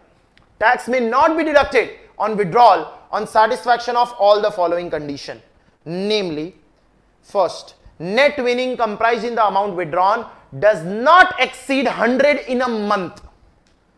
सौ रुपया महीना है। आपने विड्रॉ किया है एक महीने में सौ रुपए तक। एक महीने में सौ रुपए तक। तो उस पर टीडीएस नहीं काटना है कंपनी को तो वो नहीं काटे, चलेगा। फिर भी काटना चाहे तो काट सकती है। एक डिडक्टी मना नहीं कर सकता। डिडक्टर को ये पावर दी गई है कि वो चूज़ करे कि वो टीडीएस काटना चाहता है या नहीं। अगर सौ रुपए से ज़्यादा है विड्रॉल तो तो टीडीएस काटना ही पड़ेगा। सौ रुपए तक है इन अ मंथ तो आपकी चॉइस है। दूसरी बात tax not deducted on account of this concession is deducted at the time when the net winnings comprise in the withdrawal exceeds hundred in the same month और subsequent month और if there is no such withdrawal at the end of the financial year यह क्या कह रहे हैं? कि समझो मैंने जून के महीने में नाइनटी रुपीज़ विड्रॉ किए, नाइनटी रुपीज़ विड्रॉ तो तब तो टीडीएस नहीं काटा, चलेगा। जून के महीने में ही मैंने वापस दो सौ रुपए विड्रॉ किए। जून के महीने में। या जून के महीने में नहीं, समझो जुलाई के महीने में दो सौ रुपए विड्रॉ किए। तो अब जो मैंने विड्रॉ किया, वो सौ रुपए से ज़्यादा किया। तो अब जब मैंने सौ रुपए से ज़्यादा विड्रॉ किया तो उस दो सौ रुपए पे तो टीडीएस लगेगा ही लगेगा। उस नब्बे रुपए पे भी टीडीएस लगेगा। दो सौ नब्बे रुपए पे टीडीएस लगा दिया जाएगा। अगर मैंने जून के महीने में नाइनटी विड्रॉ किया, जुलाई के महीने में भी नाइनटी विड्रॉ किया तो दोनों पे टीडीएस नहीं लगेगा। अगस्त के महीने में मैंने 150 विड्रॉ किया तो अगस्त के महीने में 150 प्लस 90 प्लस 90 पूरे पे टीडीएस लगाया जाएगा। एंड अगर समझो मैंने, जून में 90 विड्रॉ किया, जुलाई में 90 विड्रॉ किया, और फिर पूरे साल में कुछ विड्रॉ नहीं किया, पूरे साल में तो फिर at the end of the financial year जो 180 का अमाउंट है, उस पे मेरे अकाउंट में से टीडीएस काट के सरकार को जमा कर दिया जाएगा। लेकिन सर, समझो, अगर ऐसा हुआ कि आपने 90 विड्रॉ किया 90 विड्रॉ किया, दो अलग अलग महीनों में टीडीएस नहीं काटा और फिर at the end of the financial year आपको नुकसान हो गया। नुकसान हो गया और आपके खाते में पैसा ही नहीं है। तो क्या होगा? क्योंकि तब तो टीडीएस काटने का ऑप्शन ही नहीं रह गया। तो गवर्नमेंट ने तीसरी बात लिख दी। तीसरी बात क्या लिखी? The deductor undertakes the responsibility for paying the difference if the balance in the user account at the time is not sufficient to discharge the tax deduction liability अगर उस समय पैसा नहीं बचा तो ज़िम्मेदारी डिडक्टर की हो जाएगी। डिडक्टर को अपने घर से पैसा भरना पड़ेगा सरकार को। इस तरीके से तीन बातें क्या हो गई? पहली बात, सौ रुपए तक का ही विड्रॉल है इन अ मंथ तो टीडीएस मत काटो एट योर चॉइस डिडक्टर की चॉइस है। हर महीने सौ सौ रुपए तक का ही विड्रॉल है, डिडक्टर अपनी चॉइस से टीडीएस ना काटे। बट किसी भी महीने सौ रुपए से ऊपर गया तो जितना अभी तक विड्रॉ हुआ, सब पे काट ले टीडीएस और अगर पूरे साल किसी भी महीने सौ रुपए से ऊपर विड्रॉ नहीं हुआ तो end of the financial year पे पूरे अमाउंट पे टीडीएस काट लिया जाएगा। बट अगर end of the financial year पे बैलेंस शॉर्ट पड़ गया टीडीएस जितना काटना है, उतना अकाउंट में बैलेंस ही नहीं है, उतना पैसा ही नहीं है तो डिडक्टर को अपनी जेब से भरना पड़ेगा। इसका मतलब यह हो गया डिडक्टर हमेशा यह इंश्योर करेगा कि अकाउंट में टीडीएस जितना अमाउंट तो पड़ा हो, नहीं तो उसको अपने घर से भरना पड़ जाएगा। एंड इसीलिए कई डिडक्टर्स को क्या बोलेंगे? जाने दो थ्रेश दिमागी नहीं लगाना है, हर बात पे टीडीएस काटो। दिमागी मत लगाओ, अपने ही फंस जाएँगे बाद में, क्योंकि लाइबिलिटी डिडक्टर की आ जाएगी डिडक्टी की नहीं रह जाएगी। इस तरीके से हम ऐसा कह सकते हैं ये जो थ्रेशोल्ड वाली बात है, वो up to rupee hundred in a month है। एंड किसी भी महीने सौ से ऊपर गया तो पूरे पे 30 परसेंट टीडीएस लगा दिया जाएगा। और अगर किसी भी महीने सौ के ऊपर नहीं गया तो end of the financial year पे, पूरे पे 30 परसेंट लगा दिया जाएगा। अगर उतना बैलेंस नहीं हुआ, पैसे नहीं हुए उस ऑनलाइन गेमिंग कंपनी के पास काटने के लिए तो उसे अपनी जेब से भरना पड़ जाएगा। जब तक सामने से उसका रिंबर्स नहीं होता, उससे सरकार को कोई मतलब नहीं है। ये सिचुएशन है। I am very sure institute आपको इस पे कोई भी प्रैक्टिकल क्वेश्चन नहीं पूछ पाएगी। क्योंकि ये निकालना कैसे है नेट विनिंग्स वो तो आपके सिलेबस का पार्ट ही नहीं है। तो आपको खाली इसे थियोरी में ध्यान में रखना है कि सौ रुपए की इन मंथ की लिमिट है, बाकी और कुछ भी इसमें ध्यान में नहीं रखना। ये पहला क्लैरिफिकेशन दिया इन्होंने सर्कुलर के थ्रू फिर दूसरा when the net winnings is in kind how will tax deduction under section 194 BA operate देखो, ऐसा भी होता है ना कि मैं किसी ऑनलाइन गेमिंग प्लेटफॉर्म पे गया और ऑनलाइन गेमिंग प्लेटफॉर्म पे मुझे कहा गया, खेलो। और अगर जीतोगे तो टीवी देंगे, जीतोगे तो गाड़ी देंगे, जीतोगे तो प्लेन देंगे। ऐसा प्लेन तो कोई देता नहीं है। पर चलो, कुछ ना कुछ काइंड में देंगे। तो सेक्शन 115 बीबीजे ने कभी ये थोड़ी कहा कि जो नेट विनिंग्स इन कैश होती है, वही टैक्सेबल है। नेट विनिंग कैश में भी हो सकती है काइंड में भी हो सकती है पार्टली कैश भी हो सकती है पार्टली काइंड भी हो सकती है। कुछ भी पॉसिबल है। तो फिर टीडीएस कैसे काटेंगे, सर? क्योंकि अगर मैं जीता टीवी तो टीवी तो काइंड में मिला ना, सर? तो 194 बीए का टीडीएस कैसे कटेगा? यही प्रॉब्लम तो आप पहले 194 बी में भी पढ़ चुके हो। क्योंकि 194 बी में जब हम कौन बनेगा करोड़पति खेलने जाते हैं तो कौन बनेगा करोड़पति में जब हम गाड़ी जीतते हैं? होता है ना, घर बैठे जीतो तो हम गाड़ी जीतते हैं तो गाड़ी पे भी टीडीएस तो काटना पड़ता है। तब आपको जो पढ़ाया है, वही यहाँ लगेगा। सर, वहाँ क्या पढ़ाया है आपने? वहाँ यही पढ़ाया है ना, कि जब गाड़ी आपको रिलीज़ करनी होगी तो केबीसी वाले गाड़ी रिलीज़ करने से पहले क्या बोलेंगे? टीडीएस का अमाउंट हमें पे करो। टीडीएस का अमाउंट हमें पहले कैश में पे करो। फिर ही गाड़ी रिलीज़ की जाएगी। या फिर अगर आपको केबीसी पे शक है कि इनको कैसे भर दे तो आपके पास ऑल्टरनेटिव क्या होता है कि उतना ही अमाउंट जाके सरकार को भर दो एज एडवांस टैक्स और उसका चलान लाके दिखा दो और गाड़ी रिलीज़ कर दी जाएगी। Same to same copy paste यहाँ डाल दिया गया है 194 बीए में। क्लैरिफाई किया गया है कि अगर कुछ काइंड में है तो कैश पे तो है नहीं खाली टीडीएस तो पूरे पे ही लगेगा। तो काइंड में है तो कैसे लगाया जाएगा? तो कहा गया, होली काइंड है पार्टली काइंड है पार्टली कैश है। और कैश सफिशियंट नहीं है तो इन सिचुएशंस के अंदर आपको पहले पे करना पड़ेगा इंश्योर करना पड़ेगा that tax has been paid and फिर उसके बाद ही आपको वो रिलीज़ किया जाएगा। या फिर ऑल्टरनेटिव क्या है कि आपको प्रूफ ऑफ़ पेमेंट देना पड़ेगा, चलान डिटेल देनी पड़ेगी, फिर ही रिलीज़ किया जाएगा। ये सिचुएशन क्रिएट कर दी गई है। जो 194 बी में आपने पहले से पढ़ी हुई है, कोई नई बात नहीं है, ये word to word copy paste है। तीसरी बात सर विनिंग जब काइंड में देते हैं तो उसका वैल्यूएशन कैसे होगा? जैसे टीवी दे दी तो अब टीवी दी ना सर अगर चालीस हज़ार रुपए दिए होते तो चालीस हज़ार रुपए मेरे लिए इनकम फ्रॉम अदर सोर्स में चले जाते। बट टीवी दी तो टीवी की वैल्यूएशन कैसे करूँ? तो इसकी वैल्यूएशन भी अगेन आपने पढ़ी हुई है। आपने 194 आर पढ़ा है 194 आर में भी ये प्रॉब्लम आती है। वही सेम सोल्यूशन यहाँ दिया है। Same solution word to word कि जो आपको टीवी दे रहा है, ये देखो, उसने टीवी आगे से खरीद के दी है आपको, या वो टीवी मैन्युफैक्चर करके बेचता है?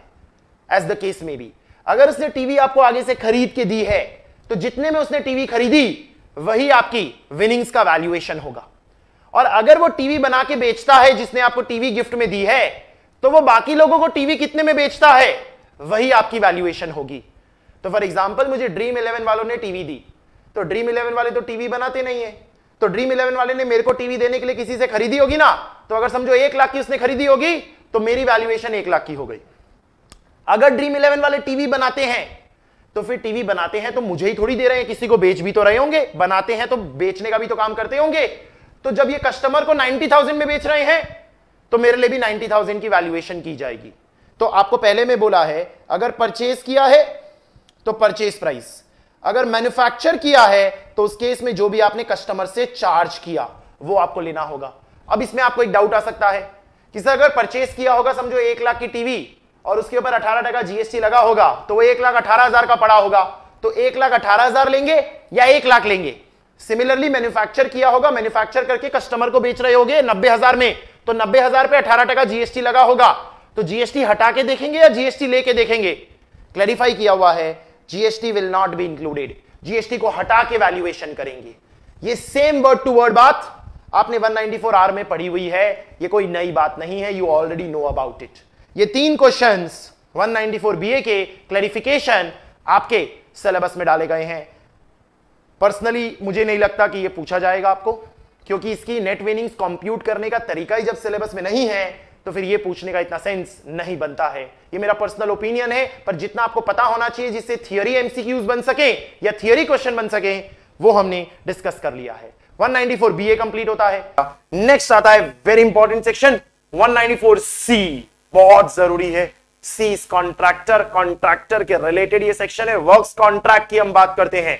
इस सेक्शन के अंदर हम कहते हैं कि अगर कोई भी पर्सन किसी रेसिडेंट पर्सन को पेमेंट कर रहा है फॉर वर्क्स कॉन्ट्रैक्ट तो उसके ऊपर उसे टीडीएस डिडक्ट करना होगा, जिसमें अगर वो person individual H U F AOP BOI है इंडिविजुअल एच यू एफ़ या association of person body of individual है तो उसे टीडीएस तभी डिडक्ट करना होगा इस सेक्शन में, जब प्रीसीडिंग फाइनेंशियल ईयर में उसका टर्नओवर या ग्रॉस रिसीट एक करोड़ या पचास लाख से ज़्यादा होगा। अगर एक करोड़ या पचास लाख से ज़्यादा होगा तो ही इस पर्सन को टीडीएस डिडक्ट करना होगा। कोई पेमेंट करते वक्त टू अ रेसिडेंट पर्सन ये बात सिर्फ़ individual H U F AOP BOI के लिए है।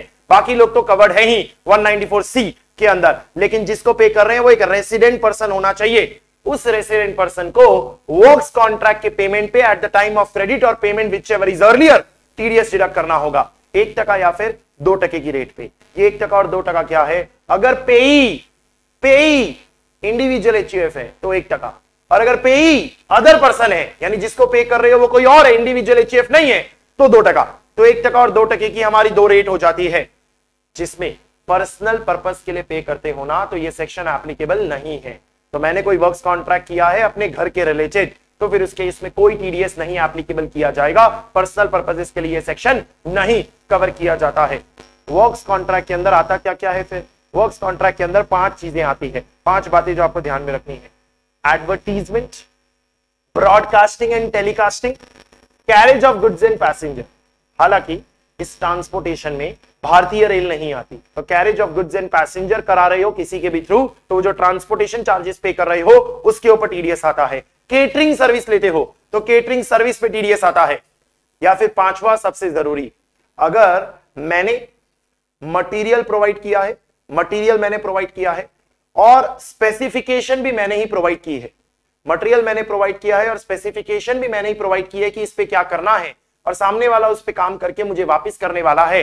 यानी जिसे हम प्योर जॉब वर्क बोलते हैं, कि सामने वाला लेबर करके मुझे देने वाला है मेरे गुड्स पे तो उसे भी वर्क कॉन्ट्रैक्ट की डेफिनेशन में शामिल किया जाता है। तो मैंने सामने वाले को कपड़ा दिया और कपड़ा देके बोला, इसको सील दो। इसको जैसे जैसे मैं बोल रहा हूँ, वैसे वैसे स्टिच करके दे दो। मेरी ही स्पेसिफिकेशन है, मेरा ही माप मेज़रमेंट है, मेरी डिज़ाइन सब कुछ है और आप मुझे वापस ये काम करके दे दो।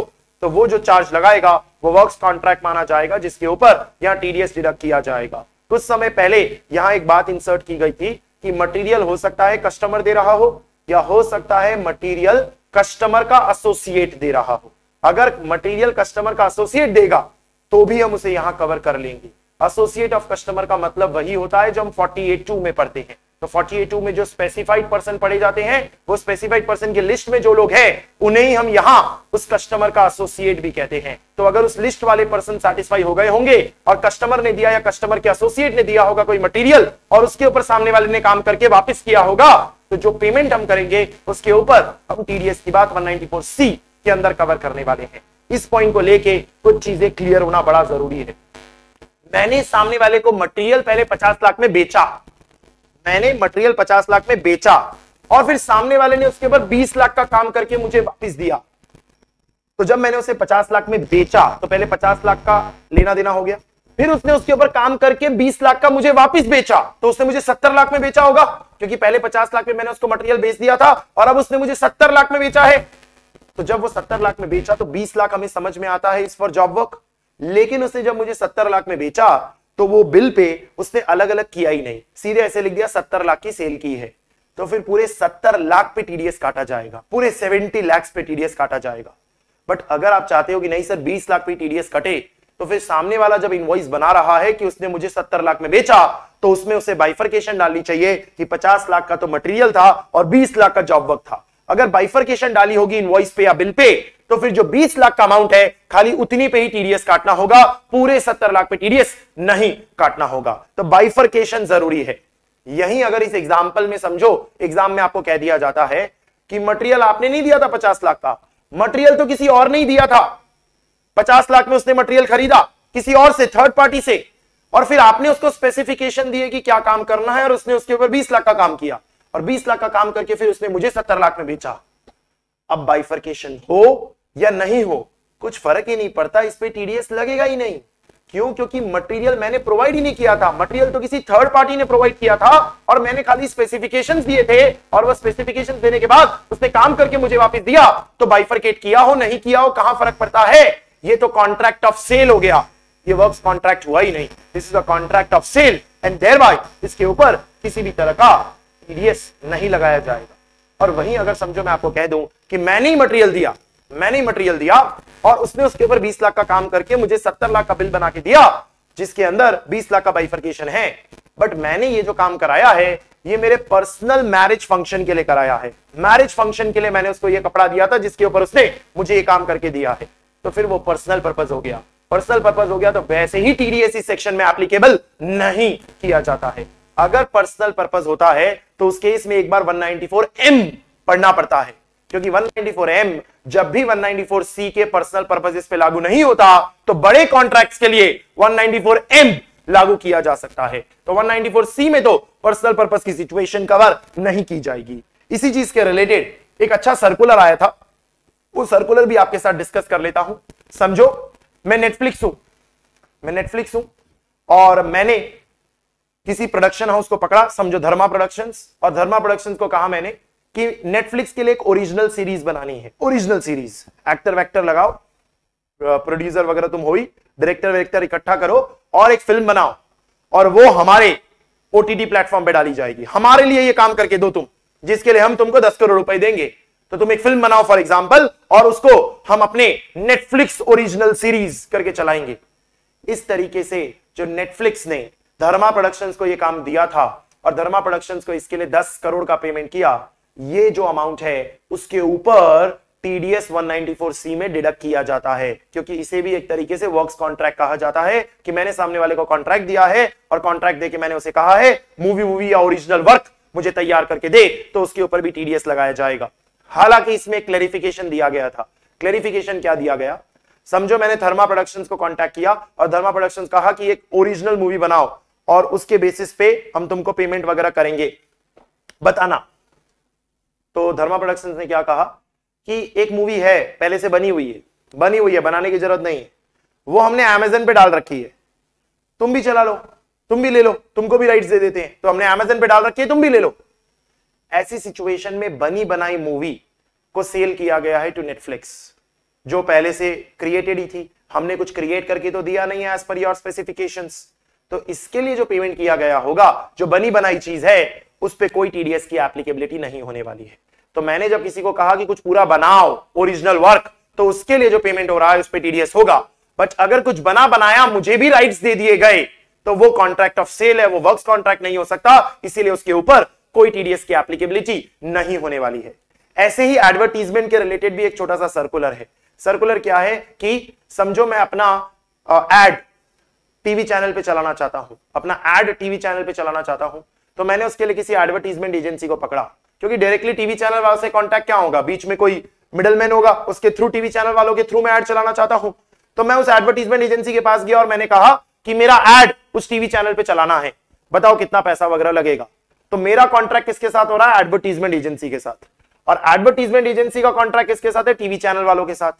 तो मैंने पेनॉर्मिक एजुकेशन प्राइवेट लिमिटेड ने अपना कोई एड चलाने के लिए कॉन्टैक्ट किया है टू द एडवर्टीजमेंट एजेंसी और एडवर्टीजमेंट एजेंसी को मैं कुछ पे कर रहा हूँ? वो एड के रिलेटेड तो जो मैं एडवर्टीजमेंट एजेंसी को पे कर रहा हूँ, उसके ऊपर टीडीएस डिडक्ट कर लिया जाएगा 194 सी में। बट जो एडवर्टीजमेंट एजेंसी आगे टीवी चैनल को पे कर रही होगी, उसके ऊपर कोई टीडीएस नहीं लगाया जाएगा, ना ही 194 सी में, ना ही 194 एच में।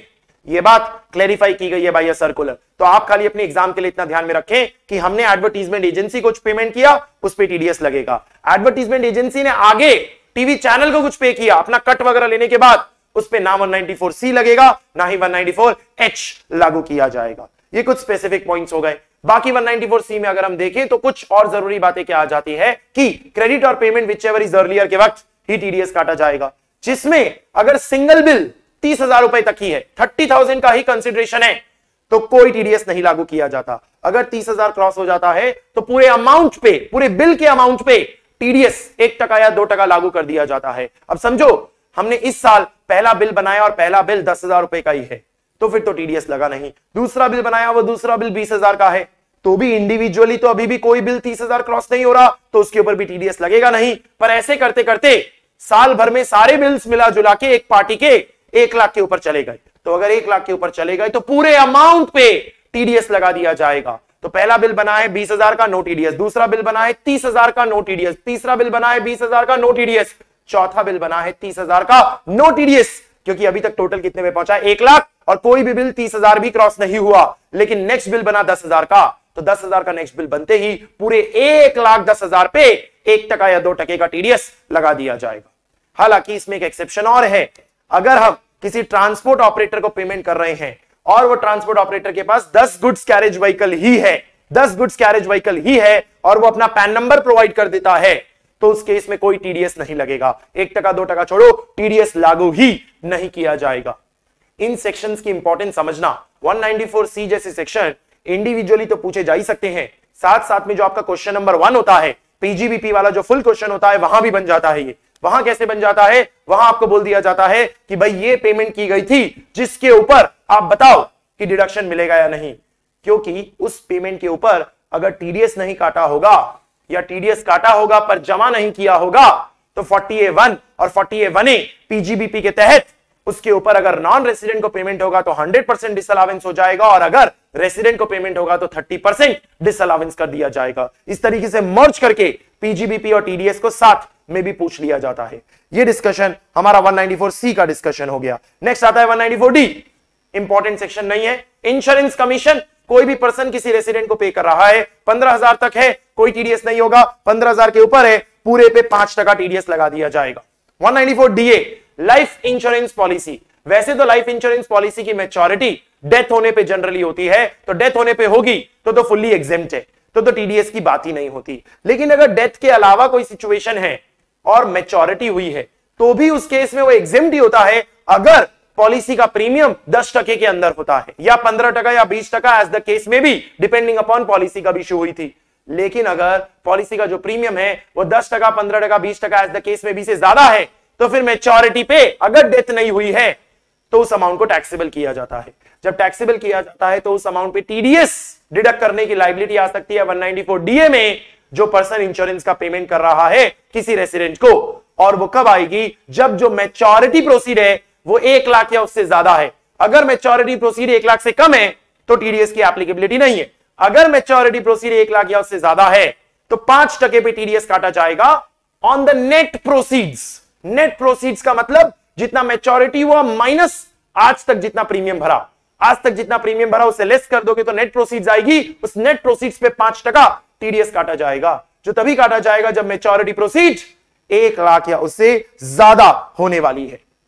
ये हमारा 194 डीए का डिस्कशन हो जाता है। देन 194 ई e, वैसे ये इंट्रो में मैंने आपको बता ही दिया बट बड़ा इंपॉर्टेंट सेक्शन है। किसी non resident sports person non resident athlete non resident sports association या non resident non citizen entertainer को कोई भी पर्सन पेमेंट कर रहा है तो कोई थ्रैश नहीं है। उस पर सीधे बीस प्लस सरचार्ज प्लस सेस का टीडीएस लगा दिया जाता है, जिसमें पेमेंट किस चीज़ की की जा रही है? भारत में आके वो किसी गेम्स में पार्टिसिपेट कर रहे हैं, किसी स्पोर्ट्स में पार्टिसिपेट कर रहे हैं, किसी मैगजीन के आर्टिकल में कंट्रीब्यूट कर रहे हैं, कोई परफॉर्मेंस गारंटी अमाउंट है, या कोई एडवर्टीजमेंट वगैरह के रिलेटेड उनको पेमेंट किया जा रहा है तो उसके ऊपर सीधे सीधे 194 ई में टीडीएस लगा दिया जाएगा। 194 डबल ई कोई काम का नहीं है 194 एफ़ कोई काम का नहीं है। 194 जी जो लॉटरी एजेंट होता है लॉटरी एजेंट वो लॉटरी एजेंट को अगर आप कमीशन पे कर रहे हो पंद्रह हज़ार से ज़्यादा तो पूरे अमाउंट पे पाँच टका टीडीएस लगा देना है। 194 एच कोई भी और कमीशन या ब्रोकरेज जो ऊपर कवर नहीं हुआ, वो 194 एच में कवर होगा। क्योंकि ऊपर इंश्योरेंस कमीशन का आ गया लॉटरी एजेंट का ब्रोकरेज आ गया। बट उसके अलावा भी तो बहुत सारे कमीशन और ब्रोकरेज हैं, वो 194 एच में डाले जाएँगे। 194 एच में क्या लिखा है? कोई भी पर्सन किसी रेसिडेंट को कमीशन पे कर रहा है, लेकिन वो कोई भी पर्सन में अगर इंडिविजुअल एचयूएफ है और उसका पिछले साल का टर्नओवर या ग्रॉस रिसीट एक करोड़ या पचास लाख से ज़्यादा है तो ही तो कोई भी पर्सन किसी रेसिडेंट को पे कर रहा है कमीशन या ब्रोकरेज और वो कमीशन या ब्रोकरेज पंद्रह हज़ार से ज़्यादा है तो पूरे अमाउंट पे पाँच टका टीडीएस लगा दिया जाएगा। हालाँकि, यहाँ एक बात ध्यान रखना जो बहुत ज़रूरी है, जो सिक्योरिटीज के ऊपर आप कमीशन पे करते हो तो सिक्योरिटीज के ऊपर जो ब्रोकरेज पे किया जाता है सिक्योरिटीज की खरीद बेच करते वक्त उसके ऊपर कोई टीडीएस एप्लीकेबिलिटी नहीं होती है। क्योंकि डेफिनेशन क्या कहती है? बाइंग और selling of goods services valuable articles और things other than securities on behalf of another person कोई भी सिक्योरिटी खरीद रहा है, आपके बिहाफ पे कोई पर्सन तो उसके ऊपर जो कमीशन आप उसे पे कर रहे हो, उस पर कोई टीडीएस की एप्लीकेबिलिटी नहीं है, कोई दिक्कत नहीं है। बट कोई कॉमोडिटी खरीद रहा है तो फिर कोई कॉमोडिटी ब्रोकर है तो उसके ऊपर तो आपको टीडीएस कमीशन पे डिडक्ट करना पड़ जाएगा। ऐसे ही इसके अंदर लिखा है कि अगर बीएसएनएल या एमटीएनएल पीसीओ को कुछ पेमेंट करते हैं तो उस पर टीडीएस नहीं होगा। अब ये कोई काम का नहीं है। आज के वक्त में कोई खास काम नहीं लगता बट ये जो सिक्योरिटीज वाली बात है, ये आप ध्यान में रखना। जैसे अंडर कमीशन होता है ब्रोकरेज ऑन सिक्योरिटीज होता है, इस पे टीडीएस नहीं होता। इसके अलावा बाकी कोई भी अमाउंट है, पंद्रह हज़ार के ऊपर गया, पूरे अमाउंट पे पाँच टका टीडीएस लगाना होगा। अगेन अगर पर्सनल पर्पज के लिए कमीशन दे रहे हो तो भी कोई टीडीएस नहीं है। पर्सनल पर्पज के लिए। लेकिन पर्सनल पर्पज के लिए अगर दे रहे हो तो 194 एम लगेगा 194 एम आपको देखना पड़ेगा 194 सी में भी ये बात बोली थी और 194 एच में भी ये बात बोली है दो जगह अभी तक ये बात बोली है जहाँ 194 एम में आप चले गए हो तो 194 सी नहीं लगा तो 194 एम देखना 194 एच नहीं लगा तो 194 एम आपको देखना होगा नेक्स्ट हमारा सेक्शन आ जाता है 194 आई रेंट 194 आई रेंट के अंदर हम क्या कहते हैं कोई भी पर्सन किसी भी रेसिडेंट को रेंट का पेमेंट कर रहा है। कोई भी पर्सन किसी भी रेसिडेंट को रेंट का पेमेंट कर रहा है, जिसमें अगर इंडिविजुअल एच है तो लास्ट ईयर का टर्नओवर या ग्रॉस रिसीट एक करोड़ या पचास लाख से ज़्यादा होना चाहिए तो यह एप्लीकेबल किया जाएगा। तो अगर वो रेंट का अमाउंट दो लाख चालीस हज़ार से ज़्यादा है, यानी दो लाख चालीस हज़ार तक है इन फाइनेंशियल ईयर तो तो टीडीएस ही नहीं। दो लाख चालीस हज़ार से ज़्यादा है तो पूरे अमाउंट पे टीडीएस लगाया जाए पूरे अमाउंट पे, जिसमें दो लाख चालीस हज़ार अगेन पर फाइनेंशियल ईयर पर पर्सन है। तो एक बिल्डिंग है, उसे दो लोग ओन करते हैं। तो मैं जब रेंट दे रहा हूँ तो मैं रेंट दोनों को आधा आधा दे रहा हूँ। तो दोनों को अलग अलग देखा जाएगा। पर पर्सन देखा जाएगा पर बिल्डिंग नहीं देखा जाएगा। पर पर्सन इसको कितना पे कर रहा हूँ? क्या वो दो लाख चालीस हज़ार क्रॉस हुआ? इसको कितना पे कर रहा हूँ? क्या वो दो लाख चालीस हज़ार क्रॉस हुआ? और फिर उस अमाउंट के टोटल पे हम टीडीएस एप्लीकेबल करेंगे, जिसमें लैंड एंड बिल्डिंग या फर्नीचर एंड फिक्चर है। तो तो दस टका टीडीएस लगेगा।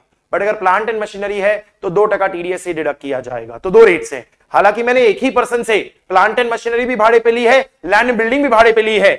तो फिर वो जो दो लाख चालीस हज़ार की लिमिट है, वो अलग अलग नहीं है। वो तो टोटल दो लाख चालीस हज़ार ही है। जिसमें से प्लांट एंड मशीनरी वाले पोर्शन पे दो टका लगाना पड़ेगा और लैंड एंड बिल्डिंग वाले पोर्शन पे दस टका हमें एप्लीकेबल करना पड़ेगा। ये 194 आई के रिलेटेड हमारा डिस्कशन हो गया। इसके रिलेटेड एक इंपॉर्टेंट केस लॉ हुआ था सिंगापुर एयरलाइंस और जापान एयरलाइंस का, जिसके अंदर यह सवाल उठा था कि ये लोग जब एयरलाइंस कंपाउंड यूज़ करती है टैक्सी वेज वगैरह जो होते हैं एयरपोर्ट्स वगैरह पे पार्किंग वगैरह होती है, या इनको और कई सारी फैसिलिटीज़ वगैरह भी मिलती है प्लेन साफ़ करना, उसका मेंटेनेंस वगैरह देखना, उसके अगर कोई स्नैग आ गया तो उसे ठीक करना तो इसके लिए जो पेमेंट की जाती है, जो पार्किंग होती है पार्किंग चार्जेस वगैरह पे किए जाते हैं, क्या उस पर भी 194 आई में टीडीएस लगेगा? तो ये क्लियर किया गया था 194 आई में टीडीएस नहीं लगेगा 194 सी में टीडीएस लगेगा। द रीजन बीइंग 194 आई में खाली रेंट कवर होता है। जबकि ये एयरक्राफ्ट जब पार्क होते हैं तो खाली पार्क नहीं होते और फैसिलिटीज़ भी लेते हैं। फैसिलिटीज़ भी लेते हैं मतलब ये वर्क्स कॉन्ट्रैक्ट है लेबर चार्जेस हैं। एंड देयर बाई इसके ऊपर 194 सी के अंदर टीडीएस लगाया जाता है, ना कि 194 आई के अंदर टीडीएस लगाया जाता है। एक क्लेरिफिकेशन और, जो वेयरहाउसिंग चार्जेस होते हैं उसे भी रेंट के अंदर माना जाता है। यानी अगर वेयरहाउसिंग चार्जेस आप दो लाख चालीस हज़ार से ज़्यादा चुका रहे हो तो उसके ऊपर भी आपको टीडीएस एप्लीकेबल करना पड़ेगा। 194 IA. Payment on transfer of immovable property that is land and building किसी भी लैंड एंड बिल्डिंग के ट्रांसफ़र पे आप कंसिडरेशन पे कर रहे हो तो वो कंसिडरेशन अगर 50 लाख या उससे ऊपर है 50 लाख या उससे ऊपर है तो फिर उस केस में उसके ऊपर एक टका टीडीएस आपको डिडक्ट करना होगा। ये सेक्शन कोई भी पर्सन जो पेमेंट कर रहा है, उस पर लागू किया जाता है। कोई भी पर्सन लेकिन पेमेंट किसको कर रहा है? किसी रेसिडेंट को। किसी रेसिडेंट को पेमेंट कर रहा है? कौन कर रहा है? कोई भी पर्सन तो रेसिडेंट पे कर रहा हो या नॉन रेसिडेंट पे कर रहा हो बट किसी रेसिडेंट को पे कर रहा है, with regard to any transfer of immovable property, where immovable property includes whether it is in India or outside India तो उसके ऊपर अगर कंसिडरेशन 50 लाख या उससे ज़्यादा है तो उस पर टीडीएस लगेगा। इस सेक्शन में इस साल प्रीवियस ईयर 22 तेईस में अमेंडमेंट हुआ और प्रीवियस ईयर 22 तेईस में इंपॉर्टेंट अमेंडमेंट क्या हुआ? हो सकता है कंसिडरेशन 50 लाख से कम हो, लेकिन अगर स्टैम्प ड्यूटी वैल्यू 50 लाख या उससे ज़्यादा है तो भी ये सेक्शन हिट हो जाएगा। क्योंकि इस सेक्शन के अंदर अब ऐसा कहा है, जो टीडीएस लगाया जाएगा, वो कंसिडरेशन और stamp duty value whichever is higher पे लगाया जाएगा। कंसिडरेशन और स्टैम्प ड्यूटी वैल्यू इसका मतलब कंसिडरेशन या स्टैम्प ड्यूटी वैल्यू दोनों में से कोई भी एक पचास लाख या उससे ज़्यादा है तो जो भी ज़्यादा है, उसके ऊपर एक टका टीडीएस इंप्लीमेंट कर दिया जाएगा। एक चीज़ और क्लियर की हुई है यहाँ पर कि जो कंसिडरेशन वर्ड होता है, उसके अंदर खाली इमूवेबल प्रॉपर्टी के ट्रांसफ़र के लिए जो पेमेंट होती है, वही नहीं आता। हम इमूवेबल प्रॉपर्टी जब परचेज करते हैं तो उसके साथ साथ क्लब की मेंबरशिप मिली है हमें वाटर फैसिलिटी के जो बेनिफिट्स मिले हैं हमें पार्किंग वगैरह की जो बेनिफिट्स मिले हैं, ये सब जितने भी और फैसिलिटीज़ मिलती है, इसको लेके देखा जाता है। तो मैंने कोई 40 लाख की प्रॉपर्टी खरीदी और 40 लाख की प्रॉपर्टी के साथ साथ मुझे 12 लाख की फैसिलिटीज़ भी मिली है। तो मैंने टोटल पेमेंट 52 का किया है। तो 52 पे एक टका टीडीएस काटना होगा। 52 पे पूरा कंसिडरेशन लेना होगा आपको, ना कि सिर्फ़ जो बिल्डिंग के लिए आपने पेमेंट की, वही कंसिडर करना होगा। रूरल एग्रीकल्चर लैंड है तो कितनी भी अमाउंट हो, उसके ऊपर कोई टीडीएस नहीं होगा। ऑब्वियसली क्योंकि वो कैपिटल एसेट ही नहीं है, इसलिए हम उसे कंसिडर नहीं करते हैं। 194 आईबी क्या है? 194 आईबी भी रेंट है। सर तो 194 आईबी तो रेंट था 194 आईबी भी रेंट है 194 आईबी तभी लगता है जब 194 आई नहीं लगता। 194 आई कब नहीं लगेगा? जब किसी ऐसे इंडिविजुअल या ने रेंट पे किया, जिस इंडिविजुअल या का टर्नओवर या ग्रॉस रिसीट एक करोड़ या पचास लाख तक है। या आप ऐसा कह सकते हो, कोई इंडिविजुअल या जो सैलरीड पर्सन है, क्योंकि कोई सैलरीड पर्सन होगा तो उसका तो पीजीबीपी नहीं होगा तो उसका टर्नओवर या ग्रॉस रिसीट आएगा ही कैसे? तो अगर कोई इंडिविजुअल है या एचयूएफ है जिसके ऊपर 194 आई नहीं लगा और वो कोई रेंट का पेमेंट कर रहा है तो जिस भी रेसिडेंट को वो रेंट का पेमेंट कर रहा है, उसके ऊपर उसे पाँच टका टीडीएस काटना होगा। ये पाँच टका टीडीएस तभी काटना होगा जब पर मंथ की रेंट पचास हज़ार क्रॉस होगी। पर मंथ की रेंट पचास हज़ार क्रॉस होगी। पचास हज़ार तक है तो कोई टीडीएस नहीं है। पचास हज़ार से ज़्यादा है तो पूरे अमाउंट पे पाँच टका टीडीएस लगाया जाएगा। मैंने इंट्रोडक्शन में आपको बताया था, ये यूनिक सेक्शन है। जिसके अंदर जो पूरा टीडीएस है वो last month of the previous year और last month of the tenancy as the case में बी में डिडक्ट किया जाएगा। तो समझो चार महीने की टेनेंसी है। अप्रैल मई जून जुलाई 55,000 रेंट 55,000 रेंट 55,000 रेंट 55,000 रेंट तो जो टोटल अमाउंट आया दो लाख बीस हज़ार का दो लाख बीस हज़ार पे जो पाँच टका लगाया जाएगा वो पाँच टका पूरा जो जुलाई का रेंट पे करोगे जुलाई का रेंट पे करोगे उस रेंट में से डिडक्ट कर दिया जाएगा, जो जुलाई का यानी last month of the tenancy और अगर समझो टेनेंसी जनवरी से लेके जुलाई की है तो फिर जनवरी, फरवरी, मार्च that is the last month of the previous year मार्च में जनवरी, फरवरी, मार्च का पूरा टीडीएस काट लिया जाएगा और फिर अगले साल अप्रैल में जून जुलाई में जुलाई में अप्रैल में जून जुलाई के एग्रीगेट पे टीडीएस काट लिया जाएगा। किसी भी महीने, किसी भी एक महीने पचास हज़ार से क्रॉस हो गया ना रेंट तो पूरे अमाउंट पे टीडीएस लगा दिया जाता है, किसी भी एक महीने भी अगर क्रॉस हो गया। 194 आई बी बहुत स्पेसिफिक सेक्शन हो गया, तभी लगेगा जब 194 आई एप्लीकेबल नहीं हुआ होगा। मतलब these two sections are mutually exclusive 194 I A और 194 आई बी में एक कॉमन बात है। कॉमन बात क्या है कि 194 आई ए और 194 आई बी में टीडीएस काटने वाले को टैन नंबर नहीं लेना होता है। TAN tax deduction account number नहीं लेना होता है। बाकी सारे सेक्शंस में होता है टैन नंबर लेकिन इन दो सेक्शंस में टैन नंबर लेने की ज़रूरत नहीं है, क्योंकि ये किसी भी आम आदमी पे भी लागू किया जा सकता है ना। इसीलिए टैन नंबर नहीं है, इनके लिए सेपरेट प्रोसीजर बताया हुआ है फॉर्म्स बताए हुए हैं, वो एग्ज़ाम के लिए रेलेवेंट नहीं होते हैं। 194 आईसी ये हमने कैपिटल गेन के रिवीजन में देख लिया था। 45 five A joint development agreement के अंदर हमने कहा था, कुछ कैश अभी मिल जाता है, और बाकी अमाउंट तो हमें बाद में पूरा का पूरा मिलता है। In the form of non monetary consideration तो जो कैश अमाउंट होता है खाली मॉनेटरी फॉर्म में मिला होता है, उस मॉनेटरी फॉर्म पे दस टका टीडीएस कट जाता है। वो दस टका जो टीडीएस कटता है, वो 194 आईसी के अंदर ही कटता है। अगेन इतना इंपॉर्टेंट नहीं है, उसे हम जाने भी दे सकते हैं। 194 J very important section 194 J पाँच चीज़ें कवर करता है। Fees for technical service fees for professional service royalty non compete fees and director को कोई भी payment which is not covered in section 192 पाँच चीज़ें, जिसमें ये पाँच चीज़ें कोई भी पर्सन किसी रेसिडेंट को पे कर रहा है।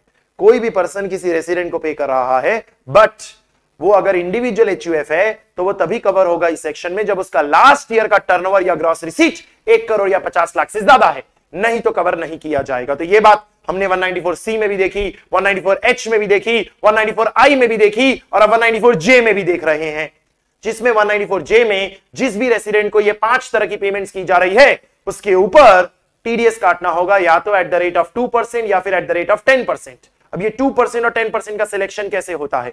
टू परसेंट तब, जब फ़ीस फॉर टेक्निकल सर्विस की बात की जा रही है, या फिर रॉयल्टी की बात की जा रही है but that royalty is for exhibition of a cinematographic film किसी सिनेमाटोग्राफिक फ़िल्म के रिस्पेक्ट में अगर रॉयल्टी है तो दो टके की रेट है। या फ़ीस फॉर टेक्निकल सर्विस है तो दो टके की रेट है। इसका मतलब अगर फ़ीस फॉर प्रोफेशनल सर्विस है, या अदर रॉयल्टी है, या नॉन कॉम्पीट फ़ीस है, या डायरेक्टर की रेम्यूनरेशन अदर देन 192 है तो 10 टके की रेट है। जिसमें इस सेक्शन में अगेन अगर कोई पर्सनल पर्पस के लिए पेमेंट किया गया है पर्सनल पर्पस के लिए पेमेंट किया गया है तो टीडीएस एप्लीकेबल नहीं होगा। यह बात मैं तीसरी बार कह रहा हूँ पर्सनल पर्पस के लिए किया जा रहा है। इसका मतलब 194 सी 194 एच 194 जे इन तीनों में से किसी भी सेक्शन में पर्सनल पर्पस के लिए पेमेंट किया जा रहा है तो 194 एम चेक करना पड़ेगा। 194 एम क्योंकि सी एच और जे नहीं लगेगा। तो सी में कॉन्ट्रेक्चुअल वर्क है पर्सनल के लिए एच में कमीशन वर्क है पर्सनल के लिए, या जे में प्रोफेशनल वर्क है पर्सनल के लिए। तो ये तीनों सेक्शंस नहीं लगते 194 एम हमें चेक करना पड़ता है। जिसमें 194 जे में ये जो पाँच बातें हैं, उसमें चार के लिए अलग लिमिट से चार के लिए अलग लिमिट से और पाँचवें के लिए कोई लिमिट ही नहीं है। फ्लैट कोई लिमिट नहीं है। इसका मतलब अगर फ़ीस फॉर टेक्निकल सर्विस है, तीस हज़ार रुपए तक इन फाइनेंशियल ईयर कोई टीडीएस नहीं। फ़ीस फॉर प्रोफेशनल सर्विस है, कोई टीडीएस नहीं, तीस हज़ार रुपए तक। नॉन कॉम्पीट फ़ीस है या रॉयल्टी है, तीस तीस हज़ार रुपए तक इंडिविजुअली कोई टीडीएस नहीं है। अगर डायरेक्टर को कुछ पे कर रहे हो, जैसे सिटिंग फ़ीस तो उसके ऊपर फ्लैट आपको यहाँ दस टका टीडीएस लगाना पड़ेगा, जिसमें क्लेरिफिकेशन दिया हुआ है कि 194 जे में ये सब कवर किए जाते हैं।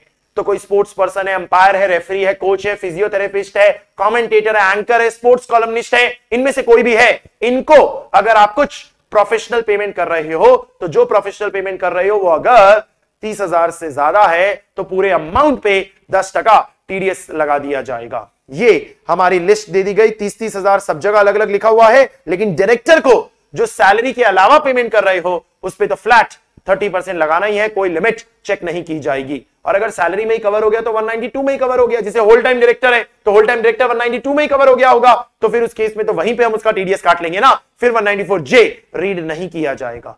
ये 194 जे के कुछ इंपॉर्टेंट हमारे डिस्कशन हो गए। देन आता है 194 के छोटा सा सेक्शन है income in respect of mutual fund mutual fund के रिस्पेक्ट में इनकम डिस्ट्रीब्यूट कर रहे हो। तो इनकम डिस्ट्रीब्यूट कर रहे हो at the time of credit और payment whichever is earlier कोई भी पर्सन रेसिडेंट को पे कर रहा है तो उसके ऊपर दस टका टीडीएस काटना है, पाँच हज़ार तक की अमाउंट होगी तो कोई टीडीएस नहीं है, पाँच हज़ार के ऊपर होगा तो ही टीडीएस लगाया जाएगा। म्यूचुअल फंड की खरीद बेच के लिए नहीं है यहाँ, क्योंकि म्यूचुअल फंड की खरीद बेच में तो कैपिटल गेन लगेगा ना। वो कैपिटल गेन के रिलेटेड ये टीडीएस नहीं है। म्यूचुअल फंड के ऊपर जो इनकम हुई होगी, जैसे शेयर्स पे जो डिविडेंड बांटा जाता है, वैसे म्यूचुअल फंड पे जो इनकम बांटी जाती है, उसके लिए 194 के बनाया है कि 5000 से ज़्यादा हुआ तो हम 10 टका टीडीएस लगा देंगे। 194 एलए कोई कंपलसरी एक्विजिशन हुआ है? 455 ये हमने कैपिटल गेन में देखा होता है, और वहाँ पर सरकार किसी रेसिडेंट को ढाई लाख से ऊपर का मुआवजा दे रही है कॉम्पेंसेशन दे रही है। तो ये जो ढाई लाख से ऊपर का मुआवजा दिया जा रहा है, ये at the time of payment दस टका टीडीएस इस पे काट लिया जाएगा। अगेन अगर रूरल एग्रीकल्चर लैंड के लिए दिया जा रहा है तो तो हम एप्लीकेबल उसे करने वाले हैं ही नहीं। तो एग्रीकल्चर लैंड के लिए दिया जा रहा है तो ये कवर नहीं किया जाएगा, बाकी अदरवाइज़ है तो ढाई लाख के ऊपर है तो पूरे पे दस टका टीडीएस लगा दिया जाएगा। 194 एम 194 एम मैंने आपको तीन जगह रेफर किया था और वो तीनों जगह का रेफरेंस यहाँ आ गया। कॉन्ट्रैक्चुअल वर्क कमीशन वर्क और प्रोफेशनल वर्क या तो पर्सनल पर्पज के लिए कोई इंडिविजुअल एच पे कर रहा है, या कोई ऐसा इंडिविजुअल एच है जिसका लास्ट ईयर का टर्नओवर या ग्रॉस रिसीट एक करोड़ या पचास लाख तक है। या वो इंडिविजुअल एच सैलरीड है सिमिलर जैसा 194 आईबी में था रेंट के लिए, वैसा ही 194 एम में है। और वो किसी रेसिडेंट को पेमेंट कर रहे हैं।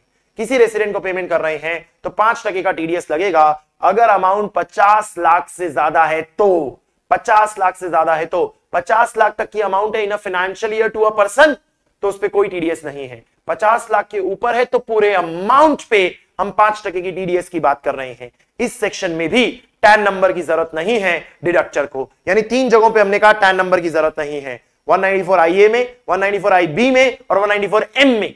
टेन नंबर नहीं भी होगा तो भी चलेगा। आप आराम से टीडीएस डिडक्ट करके जो स्पेसिफाइड प्रोसीजर है, वो फॉलो करके 50 लाख के ऊपर हुआ तो पाँच टके का टीडीएस डिडक्ट कर लोगे। देन आता है 194 एन कैश विड्रॉल आप किसी बैंक कोऑपरेटिव बैंक या पोस्ट ऑफ़िस से कैश विड्रॉ कर रहे हो। तो आप जब कैश विड्रॉ कर रहे हो, आप कोई भी हो any person any person is withdrawing cash तो at the time of payment at the time of withdrawal उसके ऊपर टीडीएस काटा जा सकता है। लेकिन टीडीएस तभी काटा जाएगा जब cash withdrawal in a financial year एक करोड़ के ऊपर है, एक करोड़ तक है तो कोई टीडीएस नहीं काटा जाएगा। एक करोड़ के ऊपर गया तो जितना ऊपर गया उस पर दो टका टीडीएस काटा जाएगा। जितना ऊपर गया, अब ये बात यूनिक है, क्योंकि ऐसी बात आपने किसी सेक्शन में नहीं देखी। बाकी सारे सेक्शन में आपने क्या देखा है कि ऊपर गया तो पूरे पे टीडीएस लगेगा। और यहाँ हम क्या कह रहे हैं कि ऊपर गया तो जितना ऊपर गया, उतने पे टीडीएस लगाया जाएगा। तो मैंने 50 लाख विड्रॉ किया, कोई टीडीएस नहीं। मैंने और 40 लाख विड्रॉ किया, कोई टीडीएस नहीं। मैंने और आठ लाख विड्रॉ किया, कोई टीडीएस नहीं। मैं 98 पे पहुँच चुका हूँ। मैंने और चार लाख विड्रॉ किया। तो अब दो लाख पे टीडीएस कटेगा, क्योंकि मैं एक करोड़ दो लाख पे आ गया। तो दो लाख पे टीडीएस कटेगा, जिसमें दो लाख पे कितना टीडीएस कटेगा? दो टका। तो जब मैं चार लाख विड्रॉ कर रहा हूँ तो चार लाख विड्रॉ करते वक्त दो लाख पे दो टका टीडीएस काट के बैंक मुझे कैश विड्रॉ करने देगा। ये लिमिट पर बैंक देखी जाती है। पर बैंक एक ही बैंक में मल्टीपल खाते हैं तो उसको एग्रीगेट करके देखोगे। Savings account plus current account लेके देखोगे। बट अलग अलग बैंक में है तो अलग अलग बैंक का अलग अलग देखा जाएगा। दो बैंक में खाते हैं तो इस बैंक का भी एक करोड़, इस बैंक का भी एक करोड़। लेकिन एक ही बैंक है तो उसके मल्टीपल खाते एक साथ देखे जाएँगे। पर बैंक देखा जाएगा, जिसमें भी एक बहुत ज़रूरी बात होती है सेक्शन में कि ये जो लिमिट है, एक करोड़ के ऊपर गया तो दो टका लगेगा, ये बदल जाएगी। और ये बदल के क्या हो जाएगी? बीस लाख के ऊपर गया तो जितना ऊपर गया, उस पर दो टका। एक करोड़ तक तो दो टका ही कटता रहेगा, जो बीस लाख के ऊपर गया होगा, उस पर और जब एक करोड़ के ऊपर चला गया तो लिमिट पाँच टका कर दी जाएगी, जो एक करोड़ के ऊपर गया, उस पर यानी zero to twenty nothing twenty से लेके वन, दो टका। और वन से जितना भी ऊपर गया फाइव परसेंट ये कब कर दिया जाएगा? जब जो पर्सन विड्रॉ कर रहा है, वो एक डिफॉल्टर है। डिफॉल्टर का मतलब जनरल मीनिंग नहीं है, एक डेफिनेशन दी हुई है 194 एन में। अगर वो डिफॉल्टर है तो लिमिट 20 लाख एक करोड़ दो टका पाँच टका कर दी जाएगी। और डिफॉल्टर नहीं है तो दो टका ही रहेगी और एक करोड़ के ऊपर जाने पे ही दो टका लगाया जाएगा। और लगाया तो हमेशा एक्सेस पे ही जाता है एक्सेस पे ही लगाया जाता है। अब डिफॉल्टर का मतलब क्या है? डिफॉल्टर का मतलब यह है कि आप जिस भी साल की बात कर रहे हो, जिस भी साल की तो समझो हम प्रीवियस ईयर 22 23 की बात कर रहे हैं। तो प्रीवियस ईयर 22 23 को छोड़ के पिछले साल को छोड़ के पिछले तीन साल देखो। 22 23 को छोड़ो और उसका पिछला साल भी छोड़ो। पिछला साल छोड़ो मतलब 21 22 भी छोड़ दो। 21 22 को छोड़ के पिछले तीन साल देखो। तो उसके पिछले तीन साल कौन से हो जाते हैं आपके? बीस, इक्कीस, उन्नीस, बीस और अठारह, उन्नीस। अगर तीनों ही सालों में रिटर्न फ़ाइल नहीं किया होगा, तीनों ही सालों में अगर रिटर्न फ़ाइल नहीं किया होगा या फिर तीनों ही सालों का रिटर्न लेट फ़ाइल किया होगा। या तो तीनों ही सालों में रिटर्न फ़ाइल नहीं किया होगा, या तीनों ही सालों का रिटर्न लेट फ़ाइल किया होगा। तो फिर वो पर्सन जब कैश विड्रॉल करेगा तो 20 लाख और एक करोड़ के हिसाब से दो टके और पाँच टके की लिमिट लगाई जाएगी। तो ये आपको जो एक छोटा सा चार्ट जैसा बनाया हुआ है, इससे दिखाई देना चाहिए। ये मैंने 21 बाईस के लिए बनाया हुआ है। तो 21 बाईस के लिए बनाया हुआ है तो 21 बाईस के लिए 20 21 को छोड़ के पिछले तीन साल देखने हैं। तो 19 20 18 19 17 18 ऐसे ही अगर आपका फाइनेंशियल ईयर बाईस तेईस है तो बाईस तेईस है तो इक्कीस बाईस को छोड़ के पिछले तीन साल देखने हैं। बीस इक्कीस, उन्नीस बीस, अठारह उन्नीस। अगर तीनों ही सालों के रिटर्न नहीं भरे, या तीनों ही भरे पर तीनों ही लेट भरे, तीनों ही नहीं भरे, या तीनों ही लेट भरे बिलेटेड भरे तो फिर उस केस में दो टका और पाँच टके वाले लिमिट्स लगा दी जाएगी आपके ऊपर। ये सेक्शन नंबर 194 एन के रिलेटेड डिस्कशन हो गया, जिसमें कुछ एक्सेप्शन क्या है कि अगर सरकार विड्रॉ करती है एक बैंक ही विड्रॉ करता है एटीएम ऑपरेटर्स विड्रॉ करते हैं authorise dealers of foreign exchange withdraw करते हैं white label ATM operators withdraw करते हैं तो उस केस में कोई टीडीएस नहीं लगाया जाएगा। कोई टीडीएस की एप्लीकेबिलिटी 194 एन में नहीं की जाएगी। ये 194 एन हो गया हमारा कि जो आप लिमिट पढ़ते थे टीडीएस ऑन कैश विड्रॉल की, वो लिमिट अभी भी वैसी ही है। कुछ नहीं बदला है। वही 20 लाख, वही एक करोड़, वही दो टका, वही पाँच टका, वो सब कुछ नहीं बदला है। सिर्फ़ कोऑपरेटिव सोसाइटी के केस में एक करोड़ की लिमिट को बढ़ा के तीन करोड़ कर दिया गया है। और कुछ भी नहीं, सिर्फ़ कोऑपरेटिव सोसाइटी के केस में। यानी कोऑपरेटिव सोसाइटी अगर विड्रॉल करती है और वो डिफॉल्टर नहीं है, उसने पिछले तीन सालों के रिटर्न टाइम पे नहीं भरे हैं, ऐसा नहीं है तो उस केस में तीन करोड़ तक कोई टीडीएस नहीं होगा, तीन करोड़ के ऊपर दो टका टीडीएस लगाया जाएगा। और अगर वो डिफॉल्टर है, उसने पिछले तीनों ही साल के रिटर्न नहीं भरे, या पिछले तीनों ही साल के रिटर्न लेट भरे तो उस सिचुएशन में जो 20 लाख तक की अमाउंट है, उस पे जो हम जैसे कहते हैं कि कोई टीडीएस नहीं लगेगा, वो नहीं लगेगा। 20 लाख के ऊपर तीन करोड़ तक दो टका लगाया जाएगा और तीन करोड़ के ऊपर पाँच टका लगाया जाएगा। और बाकी कोई और रेसिपिएंट है कोऑपरेटिव सोसाइटी नहीं है तो जो आप जानते हैं वही करेंगे। यानी कि एक करोड़ तक कोई टीडीएस नहीं है, एक करोड़ के ऊपर दो टका है बट अगर वो तीन साल के रिटर्न में लोचे मारे हैं तो फिर बीस लाख तक कोई टीडीएस नहीं है, बीस लाख के ऊपर एक करोड़ तक दो टका है और एक करोड़ के ऊपर आपका पाँच टका हो जाएगा। तो खाली वो जो यहाँ एक एक करोड़ लिखा था ना, सिर्फ़ वहाँ तीन करोड़ कर दो। इफ़ जो विड्रॉ कर रहा है, वो एक कोऑपरेटिव सोसाइटी है तो रिलैक्सेशन दिया है। आप ऐसा कह सकते हो कोऑपरेटिव सोसाइटी को रिलैक्सेशन मिला है सेक्शन 194 एन के अंदर। ये एक छोटा सा चेंज है। हम नेक्स्ट आता है 194 ओ 194 ओ क्या है? ई कॉमर्स ऑपरेटर एक e commerce operator e commerce participant के थ्रू किसी भी पर्सन को गुड्स या सर्विसेज़ सप्लाई कर रहा है। तो एक e commerce operator e commerce participant के थ्रू किसी भी पर्सन को गुड्स या सर्विसेज़ सप्लाई कर रहा है। तो ई कॉमर्स ऑपरेटर जब ई कॉमर्स पार्टिसिपेंट को रीइंबर्समेंट करता है कमीशन काटने के बाद तो उस रीइंबर्समेंट पे ई कॉमर्स ऑपरेटर को टीडीएस डिडक्ट करना पड़ेगा। टीडीएस डिडक्ट करना पड़ेगा 194 ओ के अंदर at the rate of 1 percent one percent के रेट पे टीडीएस डिडक्ट करना होगा। हालाँकि जो वन परसेंट डिडक्ट किया जाएगा, ये ग्रॉस अमाउंट पे किया जाएगा। मतलब इंक्लूसिव ऑफ़ कमीशन पे किया जाएगा।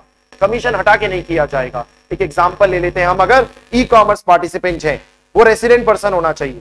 E commerce participant is a resident person उसने गुड्स या सर्विसेज़ सप्लाई किए किसी भी पर्सन को, जो रेसिडेंट हो या नॉन रेसिडेंट फ़र्क नहीं पड़ता। और समझो ये सप्लाई की है, एक लाख प्लस अट्ठारह हज़ार। एक लाख अठारह हज़ार की सप्लाई है। अठारह हज़ार क्या है? जीएसटी तो एक लाख की बेसिक वैल्यू हो गई और अठारह हज़ार का जीएसटी हो गया। तो एक लाख अठारह हज़ार की सप्लाई की है। जिसके लिए पेमेंट एक लाख अठारह हज़ार का ईसीओ को किया गया। वन लाख एटीन थाउज़ेंड का। ईसीओ ने इसमें से अठारह हज़ार जीएसटी गवर्नमेंट को भर दिया। गवर्नमेंट। ये बात जीएसटी लॉ में दी हुई है नाइन फाइव के अंदर की ईसीओ की लाइबिलिटी होती है, अगर वो चार स्पेसिफाइड सर्विस होती है तो। चलो, वो अभी कॉन्टेक्स्ट हमारा काम का नहीं एक बार के लिए समझो जीएसटी हो गया, सलट गया वो। एक लाख का जो अमाउंट है, एक लाख का अमाउंट वो इसे अब रीइंबर्स करना होगा, क्योंकि वो तो ईसीपी का अमाउंट है ना ईसीपी ने तो सामान बेचा है तो पैसे तो उसको मिलने चाहिए। तो ये जो ईसीपी है, उसको हाथ में नब्बे हज़ार दिए जा रहे क्योंकि दस टका क्या काट लिया जा रहा है? कमीशन टेन परसेंट कमीशन काटा जा रहा है। तो ये जो टेन परसेंट कमीशन काट के नाइनटी थाउज़ेंड दिया गया, ये नाइनटी थाउज़ेंड देते वक्त ईसीओ को इस रेसिडेंट ई कॉमर्स पार्टिसिपेंट का टीडीएस काटना होगा at the rate of one percent but ये जो वन परसेंट काटा जाएगा ना, ये नाइनटी थाउज़ेंड पे नहीं काटा जाएगा वन लाख पे काटा जाएगा। वन लाख पे आपको वन परसेंट काटना होगा। इसका मतलब वन लाख पे जो वन परसेंट होगा, वो नाइनटी थाउज़ेंड में से लेस करोगे और फिर ई कॉमर्स पार्टिसिपेंट को पकड़ाओगे। तो ईसीपी e के हाथ में आएगा ninety thousand minus one lakh पे वन परसेंट का टीडीएस काटने के बाद वाला जो अमाउंट होगा that is on the gross amount excluding GST का अमाउंट जिसमें ये चीज़ क्लियर होनी बहुत ज़रूरी है।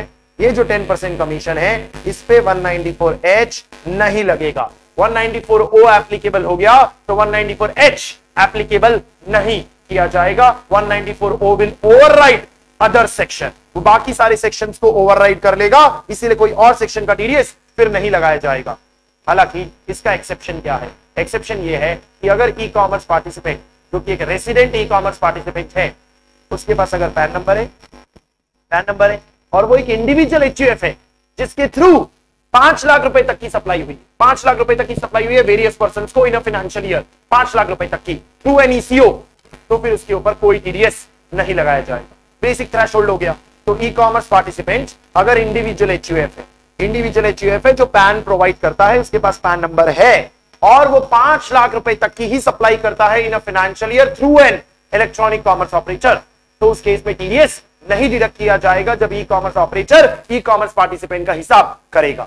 अदरवाइज़ तो टीडीएस डिडक्ट किया ही जाएगा वन परसेंट की रेट पे किया जाएगा। अगर पैन नंबर नहीं है, अगर पैन नंबर नहीं है तो आपको इंट्रो में कहा था, यहाँ बीस टका नहीं लगता है, पाँच टका लगता है।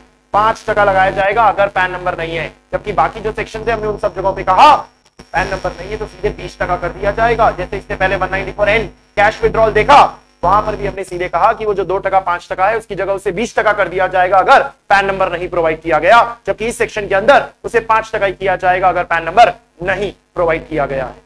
इंपॉर्टेंट बात, जब भी आप ईसीओ e के थ्रू कोई सामान खरीदते हो ईसीओ e के थ्रू तो वहाँ एक और ईसीओ e भी होता है।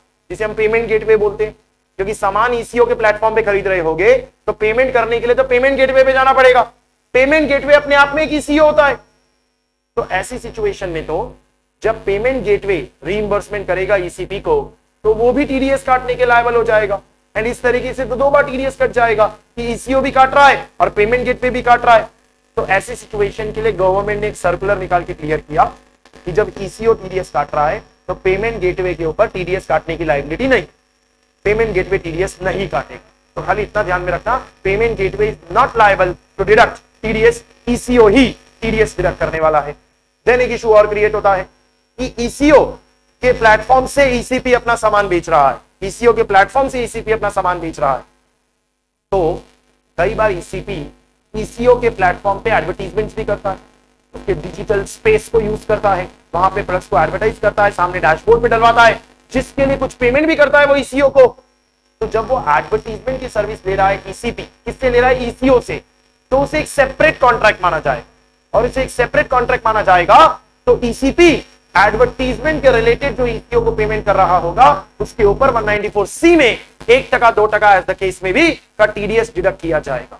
तो जो ईसीपी ईसीओ को पेमेंट कर रहा होगा फॉर एडवर्टीजमेंट स्पेस उसके लिए तो 194 सी लगेगा। बट जो ईसीओ ईसीपी को पेमेंट कर रहा होगा, इस सेक्शन के तहत 194 ओ के तहत, उसमें 194 ओ का एक टके का टीडीएस लगेगा तो 194 एच का दस टके का कमीशन वाला टीडीएस का सेक्शन नहीं लगाया जाए। ये बातें हमारी 194 ओ के रिलेटेड डिस्कस हो जाती है। 194 O overrides every other TDS का सेक्शन 194 ओ लग गया तो फिर कुछ और नहीं लागू किया जाएगा। इस ट्रांजेक्शन के रिस्पेक्ट में। 194 ओ के बाद हमारा नेक्स्ट सेक्शन आता है 194 पी 194 पी क्या है कि आप एक स्पेसिफाइड सीनियर सिटीजन है और आपकी passive income specified senior citizen है और आपकी पैसिव इनकम पैसिव इनकम है इसका मतलब आपको खाली पेंशन इनकम आती है और बैंक अकाउंट में जो इंटरेस्ट की इनकम है, खाली है। दो बात। पेंशन इनकम आती है और बैंक अकाउंट में इंटरेस्ट इनकम आती है। तो अगर आप एक ही बैंक अकाउंट में अपने खाते मेंटेन करते हो, जिससे आपको इंटरेस्ट इनकम आती है। और उसी बैंक अकाउंट में आपकी पेंशन की भी इनकम आ रही है। तो उस सिचुएशन में अगर आप एक स्पेसिफाइड सीनियर सिटीजन हो तो बैंक को डिक्लेरेशन देके, अपने डिडक्शंस के बारे में बता के बैंक को कह सकते हो, तू ही मेरा टीडीएस काट देना जितना बनता हो, और तूने टीडीएस जमा करा दिया तो मैं फ्री हो गया।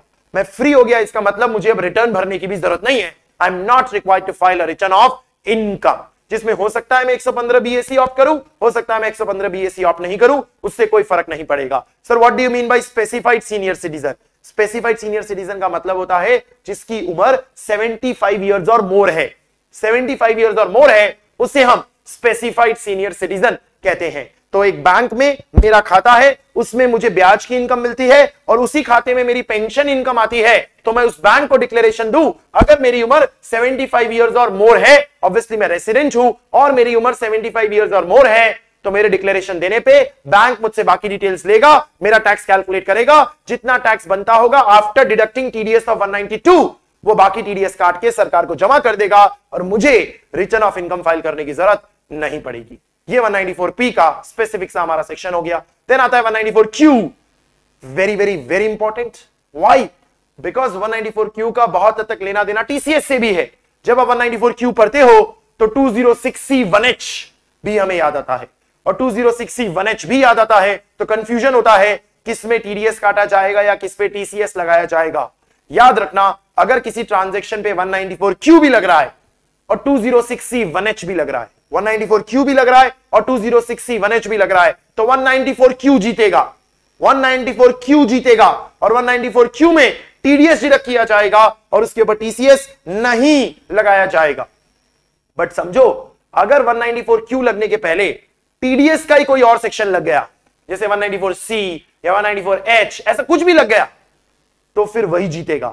194 क्यू भी हार जाएगा जिस सेक्शन में एप्लीकेबिलिटी आ रही होगी, उस सेक्शन में ही टीडीएस काट दिया जाएगा। इनफैक्ट अगर 206 सी का one one C one F या वन जी का भी कोई सेक्शन लग गया तो वहाँ टीसीएस ही लगाया जाएगा।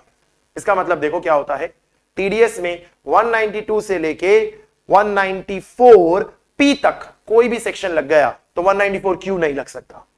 या 206 C one one C one F या वन जी में से कोई भी लग गया तो 194 क्यू नहीं लग सकता। अगर इनमें से कोई नहीं लगा होगा तो 194 क्यू लग सकता है। अगर 194 क्यू भी लग रहा होगा और 206 सी वन एच भी लग रहा होगा तो 194 क्यू लगेगा। 194 क्यू भी नहीं लग रहा तो 206 सी वन लग सकता है। इस तरीके से आपको सीक्वेंस पढ़ना होता है। तो 194 क्यू में कवर्ड क्या है? कोई बायर गुड्स खरीदता है in a financial year goods service नहीं। गुड्स खरीदता है किसी रेसिडेंट सेलर से। रेसिडेंट सेलर से। तो गुड्स खरीदे मैंने किसी रेसिडेंट सेलर से। बायर हो सकता है नॉन रेसिडेंट हो। बायर हो सकता है नॉन रेसिडेंट हो। तो किसी बायर ने किसी सेलर से गुड्स खरीदे और वो सेलर रेसिडेंट है और उसको पेमेंट किया जा रहा है पूरे साल में पचास लाख से ज़्यादा। पचास लाख से ज़्यादा। तो जितना पचास लाख से ज़्यादा है, उस पे पॉइंट वन परसेंट का टीडीएस काटा जाएगा। जितना 50 लाख से ज़्यादा है, उस पे 0.1 परसेंट का टीडीएस काटा जाएगा। ये बात मैंने 194 एन के बाद फिर से कही, यानी एक्सेस पे काटा जाएगा। एक्सेस पे 194 एन कैश विड्रॉल में भी एक्सेस कहा था, यहाँ भी एक्सेस कह रहा हूँ। जितना 50 के ऊपर गया, उस पर टीडीएस काटना है। जिसमें अगर सामने वाले का पैन नहीं है, रेसिडेंट सेलर का पैन नहीं है तो पॉइंट वन परसेंट की जगह पाँच टका होगा। पाँच टका ऑन एक्सेस अगेन ऐसी बात हमने अभी 194 ओ में देखी थी। 194 ओ में भी कहा था, पैन नहीं है तो पाँच टका होगा। एक टके की जगह पाँच टका। और यहाँ भी कहा है पैन नहीं है तो पॉइंट वन परसेंट की जगह फाइव परसेंट किया जाएगा। ये इंपॉर्टेंट है ये आपको याद रखने होंगे, इस पे क्वेश्चंस बनेंगे। तो एक बायर ने एक रेसिडेंट सेलर से 50 लाख का सामान खरीदा तो उसकी पेमेंट करते वक्त वो उसके ऊपर पॉइंट परसेंट जो एक्सेस है, उस पर टीडीएस काटेगा। जिसमें मैंने आपको इंट्रो में क्लियर किया था। अगर ये पेमेंट एडवांस पेमेंट है तो पूरी एडवांस पेमेंट पे पॉइंट होगा। पूरी एडवांस पेमेंट जो पचास लाख के ऊपर गई होगी। और अगर ये इनवॉइस बेसिस पे है इनवॉइस बेसिस पे पेमेंट कर रहे हो तो पूरे अमाउंट पे नहीं होगा on the amount excluding GST पे ही कवर किया जाएगा। On the amount excluding GST तो आपने कुछ परचेस किया, उस परचेस पे 50 लाख से ऊपर का पेमेंट है तो जितना ज़्यादा है, उस पे पॉइंट वन परसेंट काटो हालाँकि ये सारे बायर्स के लिए नहीं है, ये बड़े बायर्स के लिए है। वो बायर्स जिनका लास्ट ईयर का टर्नओवर या ग्रॉस रिसीट 10 करोड़ से ज़्यादा है 10 करोड़ से ज़्यादा है, उनके लिए हमने ये सेक्शन बनाया है। तो मैं एक ऐसा बायर हूँ, जिसका लास्ट ईयर का टर्नओवर 10 करोड़ या उससे 10 करोड़ से ज़्यादा है। 10 करोड़ नहीं 10 करोड़ से ज़्यादा है।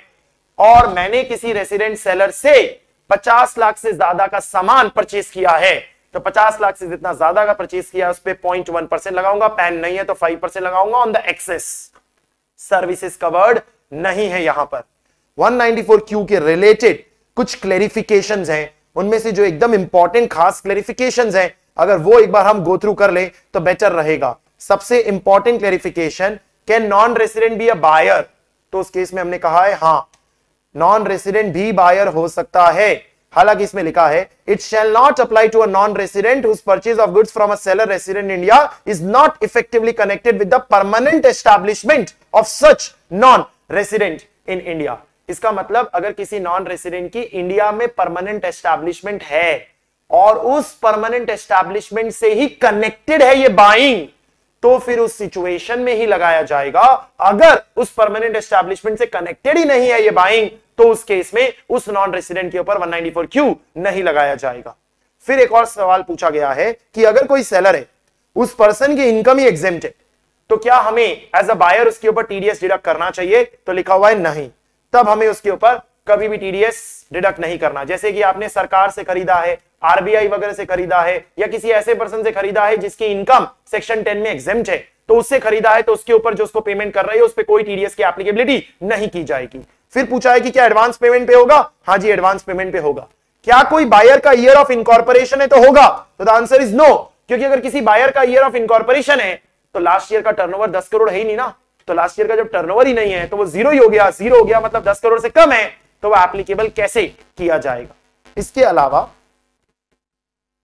बाकी पॉइंट्स इतने काम के नहीं है, वो सिर्फ़ क्विकली आप रीड कर लेते हो तो चलता है, वो एग्ज़ाम एंगल से इतने ज़रूरी नहीं है, जितने हमने डिस्कस किए, उतने हमारे 194 क्यू में काफ़ी होंगे वो डिस्कशंस अब इसके बाद आ जाता है हमारा लास्ट सेक्शन 194 आर 194 आर में हम क्या कवर करते हैं कि कोई पर्सन किसी भी रेसिडेंट पर्सन से अगर कोई बेनिफिट या परक्विजिट का पेमेंट कर रहा है तो उसके ऊपर उसे दस टका टीडीएस काटना होगा। हालाँकि बीस हज़ार तक की अमाउंट होगी तो कोई टीडीएस नहीं होगा, बीस हज़ार के ऊपर जाएगा तो उस पे दस टका पूरे पे टीडीएस लगा दिया जाएगा। मैं आपको यह एडवाइस दूँगा कि 194 आर को आप रिवीजन में ना सुने। 194 आर के रिलेटेड एक पूरा डिटेल्ड वीडियो है। जो डिटेल्ड वीडियो डाला हुआ है पहले से हमारे चैनल पे, उसे पूरा सुने। क्यों? क्योंकि ये प्रीवियस ईयर 22 23 से ही आया है। एक साथ बाईस से एप्लीकेबल किया गया है। इसके अंदर बहुत सारी छोटी छोटी छोटी छोटी बातें हैं, जो सब आपको डिटेल में सुननी चाहिए और ना कि रिवीजन सुनना चाहिए। इसीलिए मैं 194 आर यहाँ नहीं ले रहा हूँ, यहाँ डिस्कस ही नहीं कर रहा हूँ। इसको आपको पूरा ही डिटेल में कवर करना चाहिए, क्योंकि आपकी एग्ज़ाम में आएगा ही।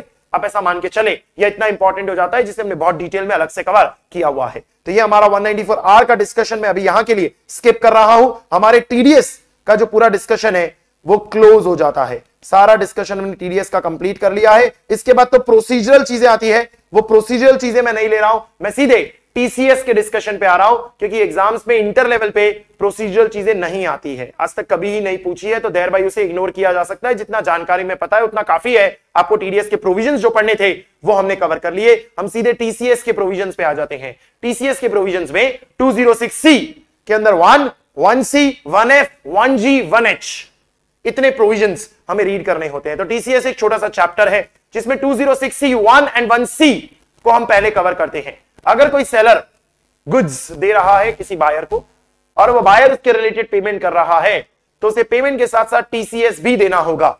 यानी सेलर टीसीएस भी कलेक्ट करेगा। कब? अगर वो goods alcoholic liquor for human consumption है टेंडू लीव्स है टिम्बर या फॉरेस्ट प्रोड्यूस है, या स्क्रैप है, या फिर कोल, लिग्नाइट या आयरन ओर वाले मिनरल है। तीन मिनरल्स कोल, लिग्नाइट या आयरन ओर। तो उस केस में जो रिस्पेक्टिव रेट ऑफ़ टीसीएस है, एक टका, पाँच टका, ढाई टका, एक टका एक टका, वो आपको साथ साथ में पे करना होगा।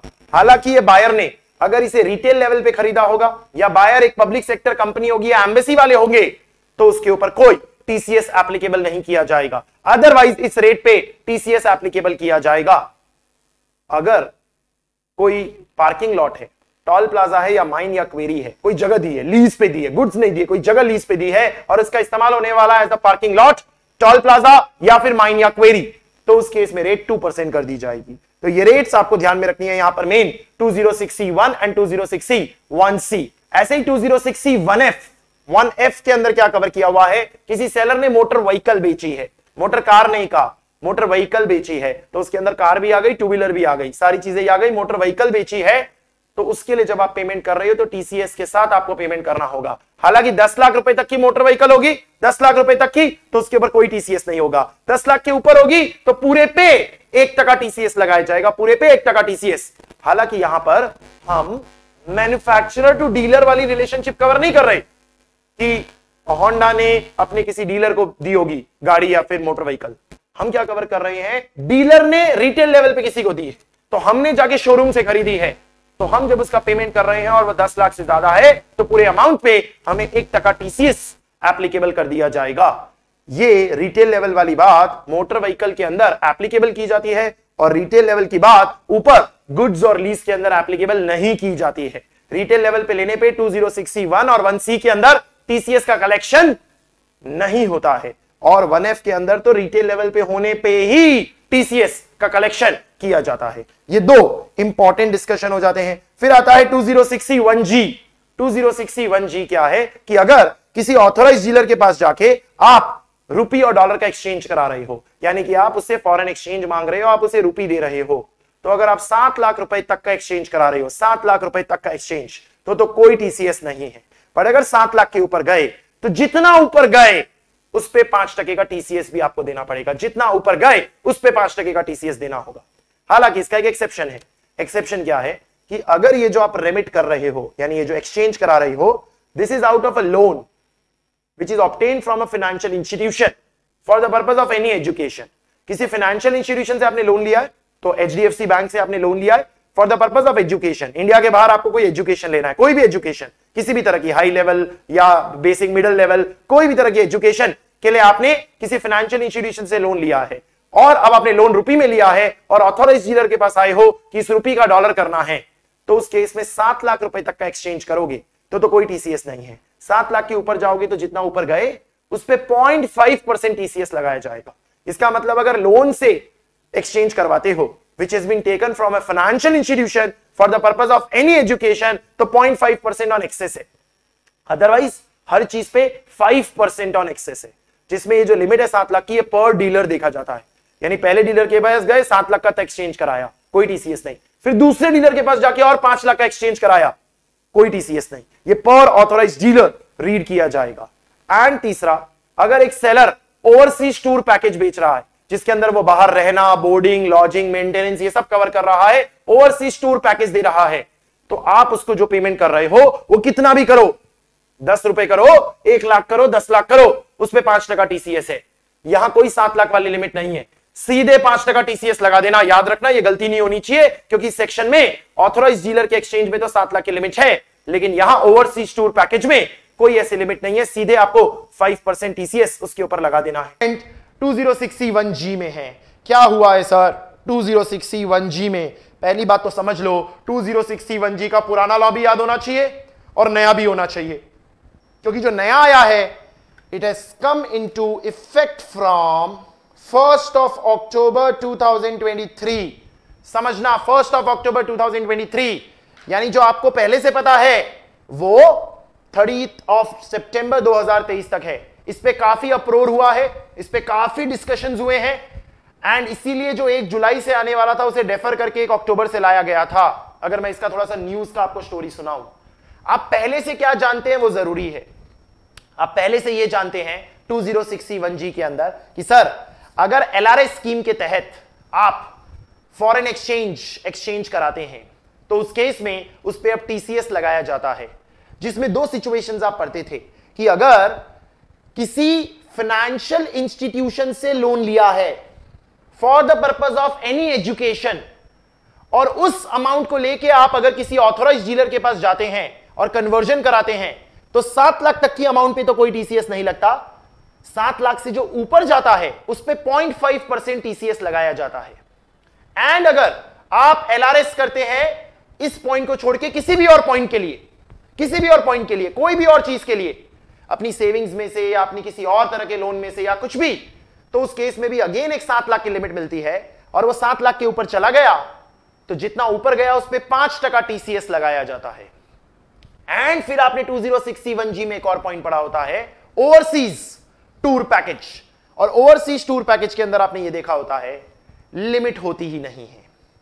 जितने का भी टूर पैकेज होगा, उस पर सीधे सीधे पाँच टका टीसीएस लगा दिया जाएगा।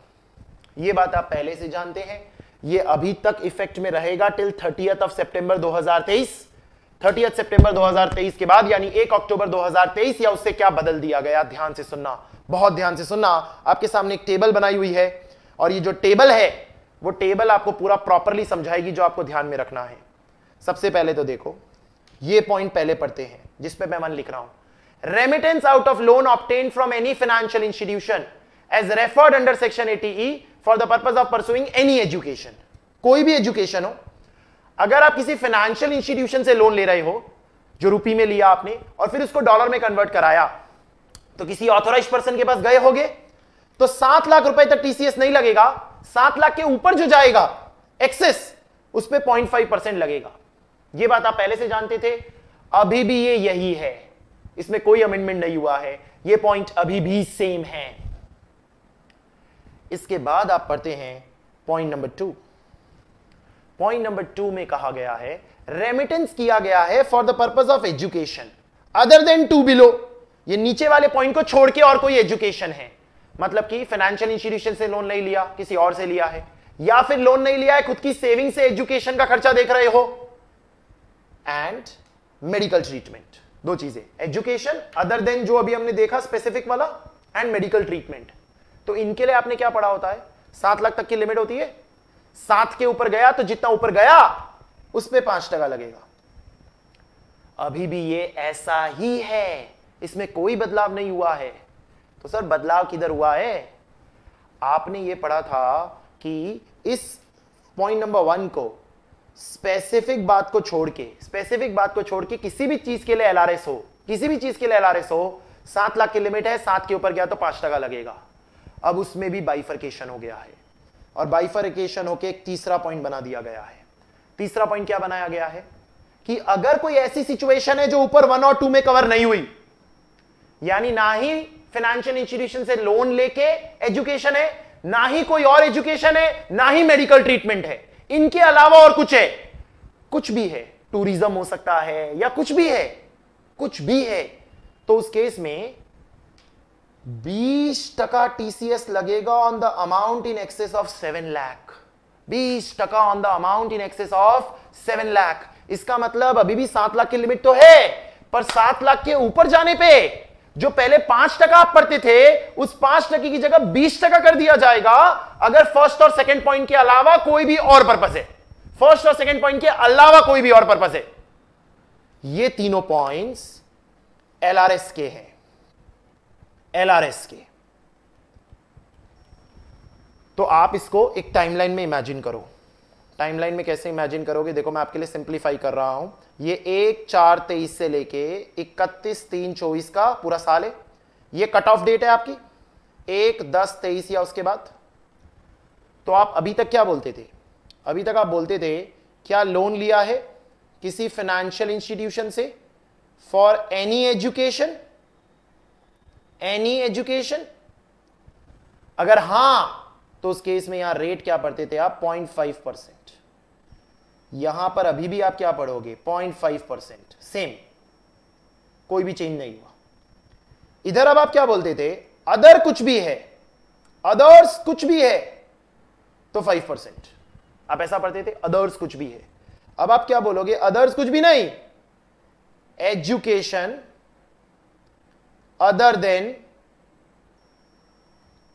one. और मेडिकल ट्रीटमेंट है अगर। तो उस केस में पाँच टका। एंड अगर इसके अलावा अदर कुछ भी है तो अब हो गया बीस टका। ये ऐड हो गया। ये बात चेंज हो गई। यानी पहले जिस चीज़ के लिए पाँच टका था, वो सब था। और अब क्या बोला है? वो एजुकेशन जो स्पेसिफिक में कवर नहीं हुई, या मेडिकल उसके लिए अभी भी पाँच है। लेकिन अगर स्पेसिफिक वाली एजुकेशन नहीं है जो फ़र्स्ट पॉइंट में आई एजुकेशन अदर देन फ़र्स्ट वाली या मेडिकल के अलावा और कुछ भी है, और उसके लिए आपने फॉरेन एक्सचेंज रेमिटेंस किया है एलआरएस के तहत, जो फॉरेन एक्सचेंज मैनेजमेंट एक्ट में देखते हैं हम तो उस केस में बीस टका हो जाएगा। ये अमेंडमेंट किया गया है। ये मैंने सिर्फ़ किसकी बात की? एलआरएस की बात की अभी। ओवरसीज टूर पैकेज की बात नहीं किया। यानी रेट बढ़ा दी ना। रेट कितनी बढ़ा दी? बीस टके पे आ गए। अब इसमें आपको कुछ कुछ डाउट्स आने शुरू होंगे कि सर, ये जो सात लाख की लिमिट आपने बोली, ये आपने इधर भी सात लाख की लिमिट बोली? इधर भी सात लाख की लिमिट बोली, इधर भी सात लाख की लिमिट बोली, इधर भी सात लाख की लिमिट बोली और इधर भी सात लाख की लिमिट बोली। तो ये जो सात सात लाख की लिमिट है, ये सात सात लाख की जो लिमिट है, ये देखनी कैसे है, सर? सबके लिए अलग अलग सात लाख देखनी है या टोटल सात लाख बोल रहे हो आप? टोटल। इसके लिए अभी हम सर्कुलर पढ़ेंगे और सर्कुलर की गाइडलाइंस में बोला हुआ है कि ये सब मिला जुला के सात लाख है। एग्रीगेट में देखेंगे। एग्रीगेट में ये बहुत ज़रूरी बात हो गई। इसका मतलब समझो, एक अक्टूबर 2023 के बाद, एक अक्टूबर 2023 के बाद मैंने फ़र्स्ट वाले पॉइंट के लिए फ़र्स्ट वाले पॉइंट के लिए, यानी कि लोन लिया किसी फाइनेंशियल इंस्टीट्यूशन से, और उससे मैंने एक्सचेंज कराया चार लाख का। तो उस चार लाख पे कोई टीसीएस नहीं लगा, क्योंकि अभी सात लाख क्रॉस नहीं हुआ है। फिर मैंने खुद की सेविंग से, खुद की सेविंग से एक्सचेंज कराया फॉर मेडिकल ट्रीटमेंट चार लाख का। तो अब वो जो सात लाख की लिमिट है, वो टोटल देखनी थी। तो पहले चार लाख पे कोई टीसीएस नहीं लगा। नेक्स्ट जो चार लाख है, उसमें से सात लाख तक मतलब तीन लाख पे टीसीएस नहीं लगेगा। और बाकी एक लाख पे टीसीएस लगेगा, कितना? पाँच टका। उसके बाद मैंने दो लाख और अपनी सेविंग्स में से निकाले और दो लाख घूमने जा रहा था, उसके लिए मैंने एक्सचेंज कराया। उस दो लाख पे सीधे अब बीस लग जाएगा। कोई अलग से लिमिट नहीं मिलेगी, क्योंकि लिमिट पहले ही एग्जॉस्ट हो चुकी है। पहले ही एग्जॉस्ट हो चुकी है। ये आपको तीनों मिला जुला के सात लाख देखना है, तीनों मिला जुला के। अलग अलग नहीं देखना है कि अलग अलग रीड किया जाएगा। एक डाउट और भी आएगा। सर, ये जो सात लाख है, ये एक दस तेईस के पहले का सात लाख अलग है और एक दस तेईस के बाद का सात लाख अलग है? इसे भी सर्कुलर में क्लियर किया गया है कि ना जी ना, ये सात लाख पर फाइनेंशियल ईयर है। पर फाइनेंशियल ईयर है। पर फाइनेंशियल ईयर है मतलब कि लिमिट तो पूरी सात लाख पूरे साल की है। ऐसा नहीं पहले छह महीने के लिए अलग सात लाख है, बाद के छह महीने के अलग सात लाख है। ये पूरे साल के लिए सात लाख की लिमिट है। एक एग्जांपल ले लेते हैं। समझो मैंने सितंबर 2023 में, सितंबर 2023 में 10 लाख का रेमिटेंस किया टूरिज़्म के लिए एलआरएस टूरिज़्म के लिए 10 लाख का। तो आप क्या बोलोगे? पहला सात लाख माफ़। बाकी तीन लाख पे पाँच टका। क्योंकि मैंने सितंबर में कहा, सितंबर में। तो बाकी तीन लाख पे पाँच टका। अब अक्टूबर का महीना आ गया। अक्टूबर का महीना। और अक्टूबर के महीने में मैंने दो लाख का रेमिटेंस किया out of a loan obtained from a financial institution for the purpose of any education तो अब इस दो लाख के लिए कोई सेपरेट सात लाख नहीं मिलेगा। इस दो लाख पे सीधे क्या लगेगा? पॉइंट फाइव परसेंट मैंने फिर तीन लाख का रेमिटेंस किया और। तीन लाख का। For the purpose of medical treatment October में अब कोई अलग से लिमिट नहीं मिलने वाली है। ये तीन लाख पे पाँच टका लगेगा।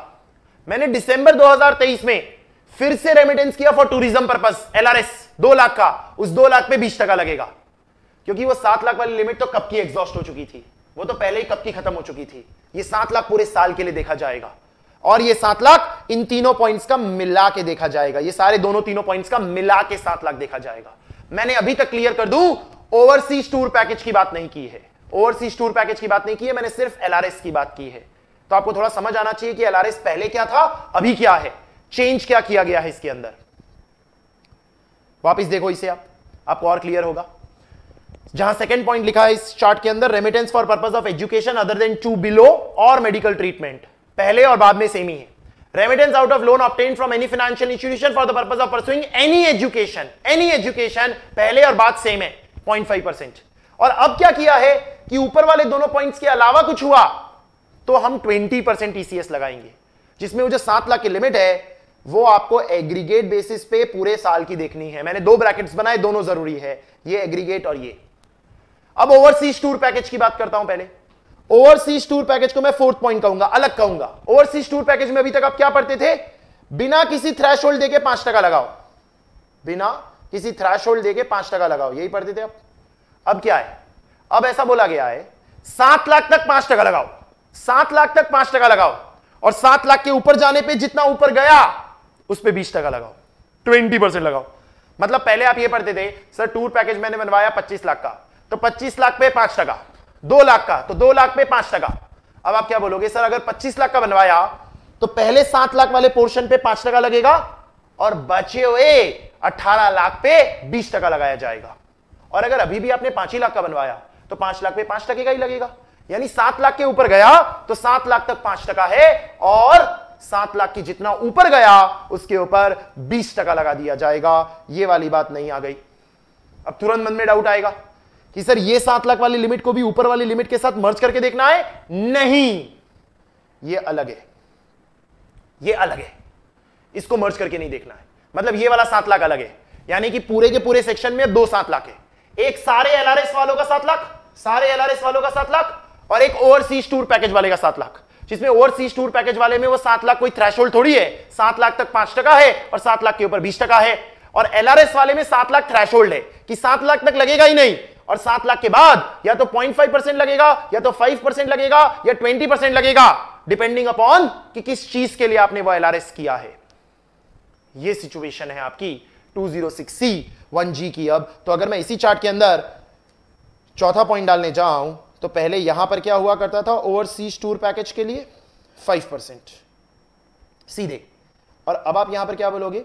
Five percent on amount up to seven lakh and twenty percent on amount exceeding seven lakh ये सिचुएशन हो गई है। ये बदलाव हो गया है। इसे अलग ही रखो ना। क्योंकि ये सात लाख अलग है। इसे अलग ही रखो। इसको पूरी सेपरेट तरीके से ट्रीटमेंट दो आप। इसके लिए जो मैंने आपको चीज़ें कुछ क्लियर की, वो सर्कुलर आया है। वो सर्कुलर के थ्रू ही हम रीडिंग करते हैं। इससे वापस रिवाइज भी हो जाएगा। मैंने थोड़ा थोड़ा बता दिया। क्वेश्चन आंसर फॉर्मेट में आया है। गवर्नमेंट का सर्कुलर है। पहला ओवरसीज क्रेडिट कार्ड से अगर पेमेंट करते हैं तो क्या उसे एलआरएस के तहत टीसीएस माना जाएगा? गवर्नमेंट ने क्लियर किया है कि जब तक हम बता नहीं देते, तब तक ओवरसीज क्रेडिट कार्ड से अगर पे करते हो तो उस पर टीसीएस नहीं लगेगा। चाहे सात लाख पे करो या सत्तर लाख पे करो इट डज नॉट मैटर तो आपको एक एक्सेप्शन याद रखना है। ओवरसीज क्रेडिट कार्ड से किया गया पेमेंट पे टीसीएस नहीं लगता। टीसीएस नहीं लगता। फ्यूचर में अगर सरकार ने कहा तो लगेगा मतलब आपकी एग्ज़ाम्स के लिए तो अभी नहीं लगेगा। दूसरा question whether the threshold of 7 lakh for TCS to become applicable applies separately for various purpose and others. For example, if remittance of 7 lakh is made in a financial year for education, other remittance in the same financial year 7 lakh is made for medical and 7 lakh is made for other. Whether exemption of 7 lakh is to be given to each of them separately. Question समझ गए होगे आप कि ये जो सात लाख है ये एजुकेशन के लिए अलग मेडिकल के लिए अलग और अदर पर्पस के लिए अलग ऐसा है या पूरा एक है आपको आंसर बता दिया है। पूरा का पूरा एक है।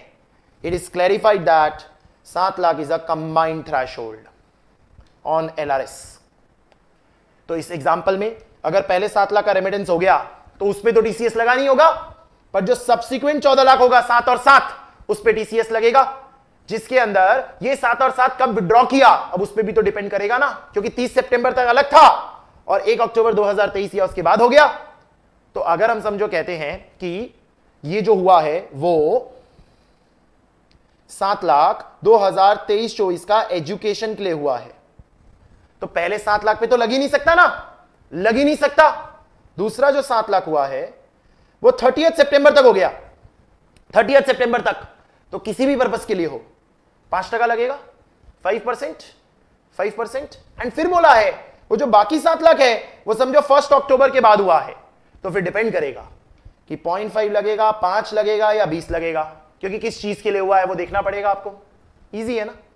थर्टी सितंबर तक सात लाख की अमाउंट खत्म हो गई आपकी। तो तो टीसीएस लगेगा ही नहीं। सात लाख के बियॉन्ड चला गया। तो थर्टी सितंबर तक अगर उस लोन के लिए गया होगा तो पॉइंट फाइव परसेंट और अगर नहीं तो पाँच। और अगर एक अक्टूबर के बाद है और सात लाख कब का क्रॉस हो चुका है? क्योंकि सात लाख तो पूरे साल का है। तो अब जितना जितना विड्रॉ करोगे, जिस जिस चीज़ के लिए करोगे, उसके हिसाब से पॉइंट फाइव फाइव या ट्वेंटी लगाया जाएगा। Question three since there are different rate for first six months and next six months इसे थ्रैश को सेपरेटली देखना है for each six months no ये पूरा फाइनेंशियल ईयर के लिए क्लियर कर दिया। क्वेश्चन फोर बड़ा इंपॉर्टेंट है, बड़ा इंपॉर्टेंट है। Whether the threshold of 7 lakh for TCS to become applicable applies separately for each remittance through different authorized dealer? If not, how will the authorized dealer know about the earlier remittance made through some other authorized dealer? सवाल समझना क्या है? ये जो सात लाख की limit है वो मुझे पर ऑथोराइज डीलर देखनी है या पर रेमिटर देखनी है जो एक्सचेंज करा रहा है? जैसे कि समझो मेरे पास चौदह लाख रुपए हैं। चौदह लाख रुपए को मैं कन्वर्ट कराना चाहता हूँ एज पर एलआरएस स्कीम तो मैं एक बैंक के पास गया who is an authorise dealer और उस बैंक को कहा सात लाख तू चेंज करा दे। और दूसरे बैंक के पास गया। और दूसरे बैंक को कहा, सात लाख तू चेंज करा दे। इन दोनों को तो पता चलेगा नहीं कि मैं दोनों के पास गया। तो अगर ये लिमिट सात सात लाख अलग अलग है तो तो दोनों पे टीसीएस नहीं लगेगा। लेकिन आपको पता है, अगर सर अलग अलग होगी तो फिर इस सेक्शन का पर्पज ही डिफीट हो जाएगा। क्योंकि कितने ऑथोराइज डीलर है, मैं सबके पास जा जाके सात सात सात सात लाख चेंज कराऊँगा। तो मैं बच गया। तो गवर्नमेंट ने क्या बोला? नहीं, ये पर ऑथोराइज डीलर नहीं है। ये पर रेमिटर है। सारे ऑथोराइज डीलर का एक साथ देखेंगे। मतलब अगर मैं किसी बैंक के पास जाके बैंक वन के पास जाके सात लाख एक्सचेंज करा चुका हूँ तो बैंक टू के पास जब सात लाख एक्सचेंज कराने जाऊँगा तो बैंक टू पूरे सात लाख पे टीसीएस लगाएगा। Rate depending upon the purpose तो अब आप कहोगे, पर सर, चलो बात तो सही है। लेकिन बैंक टू को पता कैसे चलेगा कि आप बैंक वन के पास पहले जा चुके हो? उसे कैसे पता चलेगा? तो गवर्नमेंट ने उसके लिए तरीका क्या बनाया? कि जब आप बैंक टू के पास जाओगे ना या किसी भी बैंक के पास कभी भी एक्सचेंज कराने जाओगे तो आपको एक सर्टिफिकेट देना पड़ेगा। एक अंडरटेकिंग देनी पड़ेगी। लिख के कि मेरा अभी तक सात लाख का लिमिट हिट नहीं हुआ है। और बैंक उस सर्टिफिकेट के बेसिस पे ऐसा मानेगा कि नहीं हुआ है तो वो टीसीएस नहीं कलेक्ट करेगा। अगर आपने सर्टिफिकेट नहीं दिया तो वो टीसीएस कलेक्ट करेगा। या आपने झूठा सर्टिफिकेट दे दिया तो वो टीसीएस तो कलेक्ट करेगा नहीं, क्योंकि वो तो सर्टिफिकेट को सच्चा मानेगा। और कल को पता चल गया कि आपने झूठा सर्टिफिकेट दिया था तो अब आपका नाम असेसी नहीं रह जाएगा, अब आपका नाम बन जाएगा असेसी इन डिफ़ॉल्ट। और एक बार आपका नाम अगर इनकम टैक्स डिपार्टमेंट में असेसी इन डिफ़ॉल्ट के दर्जे में आ गया तो फिर देखना हम तुम्हारे साथ क्या क्या करेंगे। वो आप अच्छे से जानते ही हैं। हालाँकि ऑफेंसेज एंड पेनल्टीज आप सीए फाइनल में ढंग से पढ़ते हैं। देखो क्या लिखा हुआ है। It is clarified that the threshold is qua remitter and not authorise dealer since the facility provide real time update still under development सरकार अभी तक ऐसा कोई सिस्टम नहीं बना पाई है जिसमें बैंक्स को या ऑथोराइज डीलर को अपने आप पता चल जाएगा कि मैं एक्सचेंज कर सकता हूँ और ऐसा सिस्टम बना रही है। क्लेरिफाई क्या किया है? कि remittance under LRS by the remitted during the financial year may be taken through an undertaking if the authorise dealer collect tax on the information he will not be treated as a CC in default how for false information appropriate action may be taken against the remitter remitter के against action लेंगे क्योंकि आपने undertaking दी थी तो उसको क्या पता। But अगर अंडरटेकिंग ली ही नहीं तो फिर तो हम ऑथोराइज पर्सन को पकड़ेंगे। क्योंकि तुम्हें टीसीएस काट लेना चाहिए था जब अंडरटेकिंग नहीं मिली थी। तुम असेसिन डिफ़ॉल्ट माने जाओगे, लेकिन तुम कम नहीं माने जाओगे जब तुमने अंडरटेकिंग ले ली और अपना काम कर लिया था। आपको अगर बचना है तो यही तरीका है। सिंपल ये क्वेश्चन नंबर फोर में क्लैरिफाई हो गया। ये सेम काम ओवरसीज टूर प्रोग्राम में भी तो होगा। क्योंकि जो पैकेज बेच रहा होगा, वो पहले आप किसी से एक पैकेज ले चुके हो, पहले एक बार फॉरेन घूमने गए थे, उसका पैकेज ले सके हो, और फिर दूसरे बार किसी के साथ फॉरेन घूमने गए हो, फिर पैकेज ले रहे हो। तो सात लाख तो पूरे साल का है ना? पिछली बार आपने पाँच लाख का पैकेज लिया था तो उस पर तो पाँच टका लगा होगा। अब आप वापिस चार लाख का पैकेज बनवा रहे हो तो दो लाख पे पाँच टका लगेगा, और बाकी दो लाख पे बीस टका लगेगा ना? वो सामने वाले को कैसे पता चलेगा? आपको अंडरटेकिंग देनी पड़ेगी कि अभी तक मेरा सात लाख का लिमिट एग्जॉस्ट नहीं हुआ है तो सामने वाला पाँच टका टीसीएस लगाएगा, नहीं तो वो बीस टका लगाएगा। क्लियर किया है। क्या ये जो सात लाख का अमाउंट है, ये एलआरएस के लिए अलग है और ओवरसीज टूर के लिए अलग है? यस ये आपको बता ही दिया। These two thresh apply independently then एक सवाल पूछा है। एक रेसिडेंट इंडिविजुअल तीन लाख स्पेंड करता है for purchase of overseas tour package from a foreign tour operator and remits money which is classified under LRS ये बड़ा इंटरेस्टिंग है। मैंने इंडियन टूर ऑपरेटर से पैकेज नहीं बनवाया। फॉरेन टूर ऑपरेटर से पैकेज बनवाया। तो फॉरेन टूर ऑपरेटर को तो पेमेंट भी डॉलर में करनी पड़ेगी।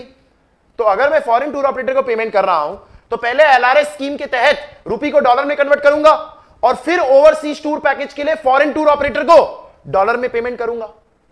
तो सवाल उठता है कि इस पे तो दोनों लग गया, क्योंकि एलआरएस भी लग गया, क्योंकि पहले आपने कन्वर्ट कराया होगा और फिर ओवरसीज टूर पैकेज खरीदा तो ओटीपी भी लग गया। तो टीसीएस जो एप्लीकेबल करेंगे वो कौन सा वाला करेंगे? ओटीपी वाला करेंगे या एलआरएस वाला करेंगे? तो देखो क्या लिखा है। In case of purchase of overseas tour package which is classified under LRS TCS provision for purchase shall apply and not TCS provision for remittance under LRS मतलब अगर वो एलआरएस भी है और ओवरसीज टूर पैकेज भी है तो क्या लगाया जाएगा? ओवरसीज टूर पैकेज लगाया जाएगा। यानी सात लाख तक पाँच टका लगा दिया जाएगा और उसके ऊपर बीस टका लगा दिया जाएगा। ये क्लियर कर दिया इन्होंने कि इस तरीके से ही हम करने वाले हैं। यानी सेलर को पाँच लाख तक का अमाउंट है तो पाँच टका टीसीएस भी कलेक्ट करना पड़ेगा। एलआरएस लग रहा है तो भी उसे इग्नोर किया जाएगा। यानी एलआरएस और ओटीपी में कौन जीतेगा? ओटीपी ओवरसीज टूर पैकेज जीतेगा। क्वेश्चन नंबर सेवन कि सर मेडिकल ट्रीटमेंट और एजुकेशन की रेट अलग है। अब सर मेडिकल ट्रीटमेंट की डेफिनेशन क्या होती है? एजुकेशन की डेफिनेशन क्या होती है? क्योंकि अब मेडिकल और एजुकेशन पे तो पाँच टका है, लेकिन बाकी चीज़ों पे तो बीस टका है। तो गवर्नमेंट ने मेडिकल का मतलब और एजुकेशन का मतलब समझाया है। जो मतलब बहुत इजी है। ये आपको रीड करना है। याद नहीं करना कि भाई मेडिकल ट्रीटमेंट मतलब जो टिकट खरीदते हो आने जाने का, वो भी आएगा। मेडिकल एक्सपेंस भी आएगा। और रोज मर्रे के जो खर्चे होंगे, खाने, पीने, खर्चे, वो भी आएँगे। मतलब मेडिकल ट्रीटमेंट मतलब लिटरली खाली हॉस्पिटल का बिल नहीं। आने जाने का भी कवरेज किया जाएगा। वो भी हम कंसिडर करेंगे। मेडिकल एक्सपेंस भी कंसिडर करेंगे और डे टू डे एक्सपेंसेस जो लगेंगे, रहने, खाने, पीने के, वो भी कंसिडर करेंगे। एजुकेशन में भी ऐसे इन्होंने क्लियर किया कि परचेज टिकट क्योंकि बाहर पढ़ने जा रहे हो तो आने जाने का भी तो खर्चा होगा, वो वहाँ की ट्यूशन या अदर फ़ीस और डे टू डे एक्सपेंसेस उन्हें भी कंसिडर किया जाएगा। दैट्स इट ये 206C1 जी है जो कॉम्प्रिहेंसिवली हमने समझा। 206C1H तुरंत इसे रीड करते ही आपको 194Q की याद आएगी। 194Q अगर लग गया तो 206C1H पढ़ना ही मत। 194Q नहीं लगा तो ही 206C1H पढ़ना। जिसमें क्या बोला है? सेलर जब गुड्स बेच रहा है गुड्स बेच रहा है सर्विस नहीं गुड्स बेच रहा है तो जब वो बायर से पैसे ले रहा है तो उसे टीसीएस भी कलेक्ट करना है। टीसीएस भी कलेक्ट करना है point one percent on excess of fifty lakh sir तो वही बात लिखी है जो 194 क्यू में लिखी थी। हाँ, लेकिन उसमें क्या था? बायर सेलर को पेमेंट करते वक्त टीडीएस काट रहा था। और यहाँ क्या है? बायर सेलर को पेमेंट करते वक्त टीसीएस दे रहा है। ओवर एंड अबव कुछ और पे कर रहा है। जिसमें यहाँ ये प्रोविज़न तभी लगेगा जब सेलर का लास्ट ईयर का टर्नओवर 10 करोड़ से ज़्यादा है। सेलर बड़ा है। 194 क्यू में कौन बड़ा था? बायर सर, समझो बायर और सेलर दोनों ही दस दस करोड़ तक हैं तो तो दोनों ही सेक्शन नहीं लगेंगे। बायर दस करोड़ के ऊपर का टर्नओवर है तो 194 क्यों लग गया? तो भूल जाओ 206C1H सेलर का दस करोड़ के ऊपर का टर्नओवर है तो 206C1H लग गया, अगर बायर का टर्नओवर नहीं है तो। बट सर अगर सेलर का भी टर्नओवर लास्ट ईयर का दस करोड़ के ऊपर है बायर का भी टर्नओवर लास्ट ईयर का दस करोड़ के ऊपर है तो तो 194 क्यों लगेगा? 206C1H नहीं लगेगा। अब समझो 194 क्यों नहीं लगा? यानी बायर का टर्नओवर 10 करोड़ तक है और सेलर का टर्नओवर लास्ट ईयर का 10 करोड़ से ज़्यादा है। तो जब वो 50 लाख से ज़्यादा का पेमेंट रिसीव करेगा तो वो पेमेंट पे टीसीएस भी कलेक्ट करेगा point one percent on excess हालाँकि, पैन नंबर नहीं हुआ अगर तो उस केस में it is one percent on excess very important 194 Q में क्या था? 0.1 परसेंट ऑन एक्सेस और अगर पैन नहीं है तो 5 परसेंट ऑन एक्सेस और यहाँ क्या है? 0.1 परसेंट ऑन एक्सेस और अगर पैन नहीं है तो 1 परसेंट ऑन एक्सेस। तो यहाँ भी यूनिक है थोड़ा सा अलग है। जिसमें 50 लाख के ऊपर जितना गया ना, उसी पे इसे एप्लीकेबल किया जाएगा। और सिर्फ़ ये गुड्स के लिए है सर्विसेज़ के लिए नहीं है। इतनी सी बात है 2060 में जो हमें ध्यान में रखनी है। एक छोटी सी बात इंपॉर्टेंट और है। 2061 जो अभी हमने पढ़ा timber forest produce tendu leaves alcoholic liquor for human consumption ये सारी जो बातें हमने पढ़ी, उसमें ऐसा लिखा हुआ है कि अगर इन गुड्स को खरीद के इनका इस्तेमाल मैन्युफैक्चरिंग प्रोसेसिंग या पावर जनरेशन के लिए कर रहे हो ट्रेडिंग पर्पस के लिए नहीं कर रहे तो फिर टीसीएस एप्लीकेबल नहीं किया जाएगा, जिसमें बायर को एक डिक्लेरेशन देना पड़ेगा बायर को एक डिक्लेरेशन देना पड़ेगा रेसिडेंट बायर को सेलर को। तो अगर एक डिक्लेरेशन दे दिया जाता है by the buyer to the seller कि इसके ऊपर मैं जो ये सामान तुमसे ले रहा हूँ, इसका इस्तेमाल करूँगा मैन्युफैक्चरिंग में। या जनरेशन ऑफ़ पावर में। ट्रेडिंग के लिए नहीं यूज़ करूँगा। इसका इस्तेमाल करूँगा मैन्युफैक्चरिंग में प्रोडक्शन में, या पावर कंजम्पशन पावर जनरेशन में। और उसका एक डिक्लेरेशन दे देता है बायर किसको दे देता है? सेलर को। तो फिर सेलर बायर से पेमेंट देते वक्त टीसीएस कलेक्ट नहीं करेगा। There is non applicability of TCS तो ये एक छोटा सा इंपॉर्टेंट पॉइंट और हो जाता है। 206 सीसी सुनना, ये छोटा सा अमेंडमेंट है टीसीएस का लास्ट अमेंडमेंट 206 सीसी क्या है? मैक्सिमम रेट ऑफ़ टीसीएस 20 टका होगा। 206 सीसी क्या है पहले? 206 सीसी में आपने पढ़ा होता है कि अगर टीसीएस के प्रोविज़न के तहत सामने वाले ने पैन नहीं दिया तो हम जो रेट लगाएँगे उसके ऊपर, वो पाँच टका या double whichever is higher लगाएँगे। पाँच टका या double whichever is higher ठीक है? तो किसी भी सेक्शन के टीसीएस में जो भी रेट दी होती है, वो रेट का डबल या पाँच टका विच एवर इज़ हायर कर देंगे अगर पैन नहीं होगा। पर अभी अभी आपने टू ज़ीरो जी पढ़ा two zero sixty one G में अब टीसीएस की रेट बीस टका तक पहुँच चुकी है। बीस टका। अभी तक इतनी बड़ी रेट थी नहीं टीसीएस में। समझो सामने वाले ने पैन नहीं दिया। मैं ओवरसीज टूर पैकेज ले रहा हूँ। दस लाख का, सात लाख के ऊपर गया और मैंने पैन नहीं दिया। तो रेट जो बीस टके की थी, वो डबल हो जाएगी, चालीस टका। कितनी बड़ी रेट हो जाएगी? तो गवर्नमेंट ने क्या बोला? हम इसके ऊपर एक कैप लगा देते हैं। पैन नहीं भी दोगे तो मैक्सिमम टीसीएस की रेट बीस टका ही हो सकती है। मतलब कहीं पर भी रेट अगर बीस टके से नीचे ही आ रही है तो, तो दिक्कत ही नहीं है और कहीं बीस टके से ऊपर जा रही है तो बीस पे रुक जाएगी। यानी कि अगर एलआरएस पे बीस टका लग रहा है और पैन नहीं दिया तो भी बीस टका ही लगेगा। ओवरसीज टूर पैकेज में बीस टका लग रहा है पैन नहीं दिया तो बीस टका लगेगा। पाँच टका लग रहा है और पैन नहीं दिया तो पाँच टके का डबल दस टका और पाँच टका विच एवर इज़ हायर दस टका लगेगा। तो यह बात आपको पहले से पता थी सिर्फ़ एक मैक्स कैप लगा दिया है। मैक्स रिस्ट्रिक्शन लगा दिया है टीसीएस के रेट पे if there is no PAN और कुछ नहीं। दैट्स इट डन ये हमारा डिस्कशन क्लोज हो जाता है टीडीएस एंड टीसीएस के प्रोविजंस के रिलेटेड इसके अलावा जो एक सेक्शन 206 ए भी आया 206 सीसीए आया। ये हमारा डिस्कस किया हुआ ये ये भी रिसेंटली ही अमेंड हुए थे, जिसके अंदर हमने ये बात कवर की हुई होती है कि अगर किसी पर्सन ने अपने पिछले साल का रिटर्न टाइम पे नहीं भरा है रिटर्न नहीं भरा है, और उसका एग्रीगेट ऑफ़ टीडीएस पचास हज़ार या उससे ज़्यादा है इन दैट प्रीवियस ईयर पचास हज़ार या उससे ज़्यादा है तो फिर उस केस में जो टीडीएस की रेट होती है, वो डबल कर दी जाती है। डबल कर दी जाती है, जो भी रेट लॉ में लिखी हुई होती है, या फिर टीडीएस के केस में बीस टका या फिर टीसीएस के केस में पाँच टका विच एवर इज़ हायर कर दी जाती है। तो ये बात हमें पता है, हम डिस्कस कर चुके हैं, और इसके रिलेटेड भी मैं आपको अगेन सजेस्ट करूँगा कि अगर आपको नहीं ध्यान तो स्पेसिफिकली जो वीडियो डाला हुआ है 206 बी और 206 CCA पे उसे ही देखें।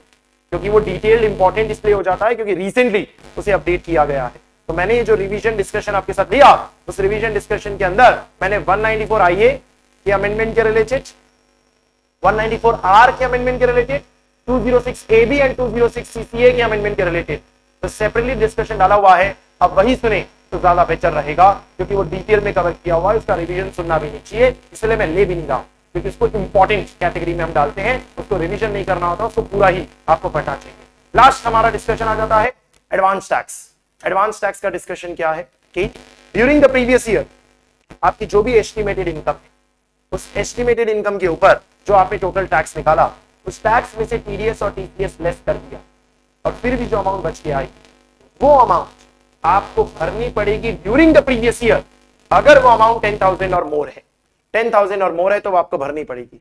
हालाँकि अगर आप एक रेसिडेंट सीनियर सिटीजन है, जिनका पीजीबीपी हेड में इनकम नहीं है तो भले दस हज़ार या उससे ज़्यादा है, आपको कोई एडवांस टैक्स भरने की ज़रूरत नहीं है। तो एडवांस टैक्स उन्हीं को भरना है जिनका टैक्स पेबल टेन थाउज़ेंड और मोर है after taking credit of TDS and TCS जिसमें ये एडवांस टैक्स चार किश्तों में भरना होता है। पंद्रह जून, पंद्रह सितंबर, पंद्रह दिसंबर, पंद्रह मार्च। पंद्रह जून तक पंद्रह टका भरो। पंद्रह सितंबर तक फोर्टी फाइव परसेंट भरो of the total liability cumulative पंद्रह दिसंबर तक सेवेंटी फाइव परसेंट भरो एंड पंद्रह मार्च तक हंड्रेड परसेंट भरो ड्यूरिंग द प्रीवियस ईयर चार इंस्टॉलमेंट्स में आपको भरना है। हालाँकि जो प्रिजम्पटिव इनकम वाले होते हैं 44 एडी और 44 एडीए उनके लिए एक ही इंस्टॉलमेंट होती है 15 मार्च। 15 मार्च तक भी वो भर देंगे तो भी काम हो जाएगा। उनको और कुछ करने की ज़रूरत नहीं होती है।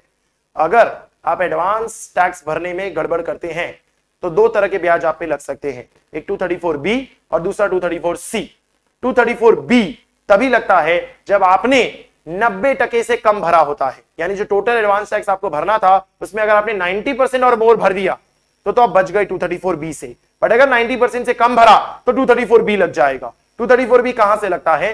First April of the assessment year से लेके जब तक आप पे नहीं कर देते। Till the actual date of payment तक पर मंथ और पार्ट ऑफ़ द मंथ एक टका ब्याज आप पे लगाया जाता है। और 234 सी क्या होता है? ड्यूरिंग द ईयर आपको जो 15 percent forty five percent seventy five percent hundred percent कहा, अगर आप उसके अंदर कमी कर देते हो शॉर्टफॉल कर देते हो तो तीन टका तीन टका तीन टका, एक टका three three three one percent का इंटरेस्ट आप पे लगाया जाता है। जिसमें रिलैक्सेशन है टू थर्टी फोर सी में, कि जो पहली इंस्टॉलमेंट है, उसमें बारह टका भी भरा होगा। बारह टका भी भरा होगा। तो भी चल जाएगा, पंद्रह नहीं भी भरा होगा तो चल जाएगा। बट बारह से कम भरा होगा ना तो पूरे शॉर्टफॉल पे, पंद्रह से लेके जितना भरा होगा, पूरे शॉर्टफॉल पे तीन टका ब्याज लगेगा। दूसरे इंस्टॉलमेंट में फोर्टी फाइव भरना होता है बट 36 परसेंट भी भर दिया होगा तो भी चलेगा। बट अगर 36 से कम भरा होगा तो पूरे 45 से लेके जो शॉर्टफॉल होगा, उस पर तीन टका ब्याज लगेगा। थर्ड इंस्टॉलमेंट में तो पूरा 75 ही भरना पड़ेगा, नहीं तो शॉर्टफॉल पे तीन टका लगेगा। और फोर्थ इंस्टॉलमेंट में तो पूरा 100 परसेंट ही भरना होगा, नहीं तो शॉर्टफॉल पे आपको एक टका ब्याज भरना पड़ेगा। ये 234 सी में हमें ध्यान में रखना होता है। हालाँकि 234 सी में चार एक्सेप्शन भी हमें प्रोवाइड किए हुए हैं कि कैजुअल इनकम है डिविडेंड इनकम है कैपिटल गेन्स है, या पहली बार जीवन में पीजीबीपी की इनकम है।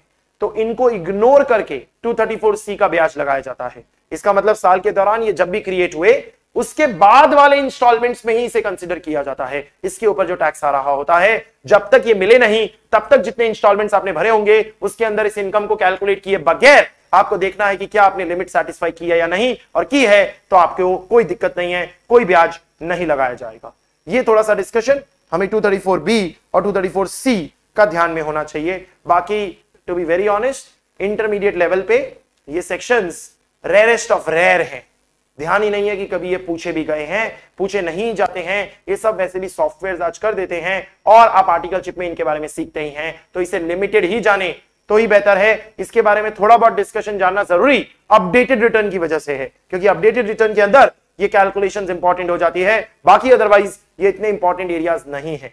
ये हमारा डिस्कशन पूरा TDS TCS and advance tax का कवर हो जाता है। Before we close the session it becomes important कि आपको एक आइडिया दे दिया जाए कि कौन से सेक्शंस बहुत इंपॉर्टेंट है, जिन पे आपको बहुत वक्त देना चाहिए। बहुत ज़रूरी है ये एग्ज़ाम्स में। और जिनको आप थोड़ा ऊपर ऊपर से भी करोगे तो भी चलेगा। तो भी कोई दिक्कत नहीं है। ये आपके सामने एक लिस्ट है। ये लिस्ट का आप एक स्क्रीनशॉट ले लें या इसे नोट डाउन कर लें। इसे ध्यान में रखें। ये ए कैटेगरी बी कैटेगरी और सी कैटेगरी के बेसिस पे आपको प्रोवाइड की हुई है। तो अगर हम ए प्लस प्लस कैटेगरी देखें तो 194 आर है। और ए कैटेगरी में देखें तो ये जितने सेक्शंस लिखे हैं, ये सारे के सारे हमारे कवर हो जाएँगे। बी और सी कैटेगरी उसी हिसाब से आपको दिखाई दे रहे हैं कि आपको कितना डिटेल में उन्हें कवर करना चाहिए। तो आप इसका एक फ़ोटो ले लेंगे या इसे आप ध्यान में भी रखेंगे तो भी चलेगा। ये सिर्फ़ इंडिकेटिव है। इसका मतलब ये बिल्कुल नहीं होता है कि आप सी छोड़ दें। ऐसी सब हरकतें नहीं करनी है। आपको कवर सब कुछ ही करना चाहिए बट किसको कितना डिटेल में करना है, किसको कितना ऊपर ऊपर करना है, उसमें आप ज़रूर सिलेक्शन कर सकते हैं। तो इसके साथ हमने एक important revision TDS TCS advance tax का क्लोज कर लिया कंप्लीट कर लिया। होपफुली आपको बहुत क्लैरिटी मिल गई होगी। इस चैप्टर के रिलेटेड आपको किन किन चीज़ों पे ध्यान देना है छोटी छोटी बातें जो आपको कवर करनी है, उसका भी एक आइडिया लग गया होगा और जो मेमोरी का काम है वो थोड़ा सा रिलैक्स हुआ होगा कि आपको इस चैप्टर को रीड कैसे करना है, क्योंकि मैंने आपके साथ कॉन्सोलिडेटेड लिस्ट डिस्कस कर ली कि इन सेक्शंस में ये बात कॉमन है, इन सेक्शंस में ये बात कॉमन है। तो होपफुली आपने उसे नोट डाउन कर लिया होगा अपनी हैंडराइटिंग में, ताकि वो याद ज़्यादा रहे और उससे इजी हो जाएगी आपके लिए चीज़ें। ध्यान रखना, किसी भी सेक्शन में छह बातें छह बातें उसी पे टिके रहना। और वो छह बातें क्या हो गई हमारी? कौन टीडीएस काटेगा? किसका टीडीएस काटेगा? किस चीज़ पे टीडीएस काटेगा? कब टीडीएस काटेगा? किस रेट पे टीडीएस काटेगा? और कब टीडीएस काटने की ज़रूरत नहीं है। इन छह बातों को आपको हर सेक्शन में ध्यान रखने की कोशिश करनी है। बाकी आप थोड़ी सी प्रैक्टिस करेंगे। पास क्वेश्चन पेपर्स की तो आपको कॉन्फिडेंस आ जाएगा कि किस तरह के सवाल पूछे जाते हैं, जो हमने कवर किए, उसके थ्रू सारे के सारे आपके सॉल्वेबल होते हैं। लास्ट लास्ट में इतना ही कहना चाहूँगा। पढ़ते रहे, मेहनत करते रहे कोशिश करते रहे, सफलता अपने आप मिल जाएगी। बाकी चीज़ों पे ध्यान ना दें।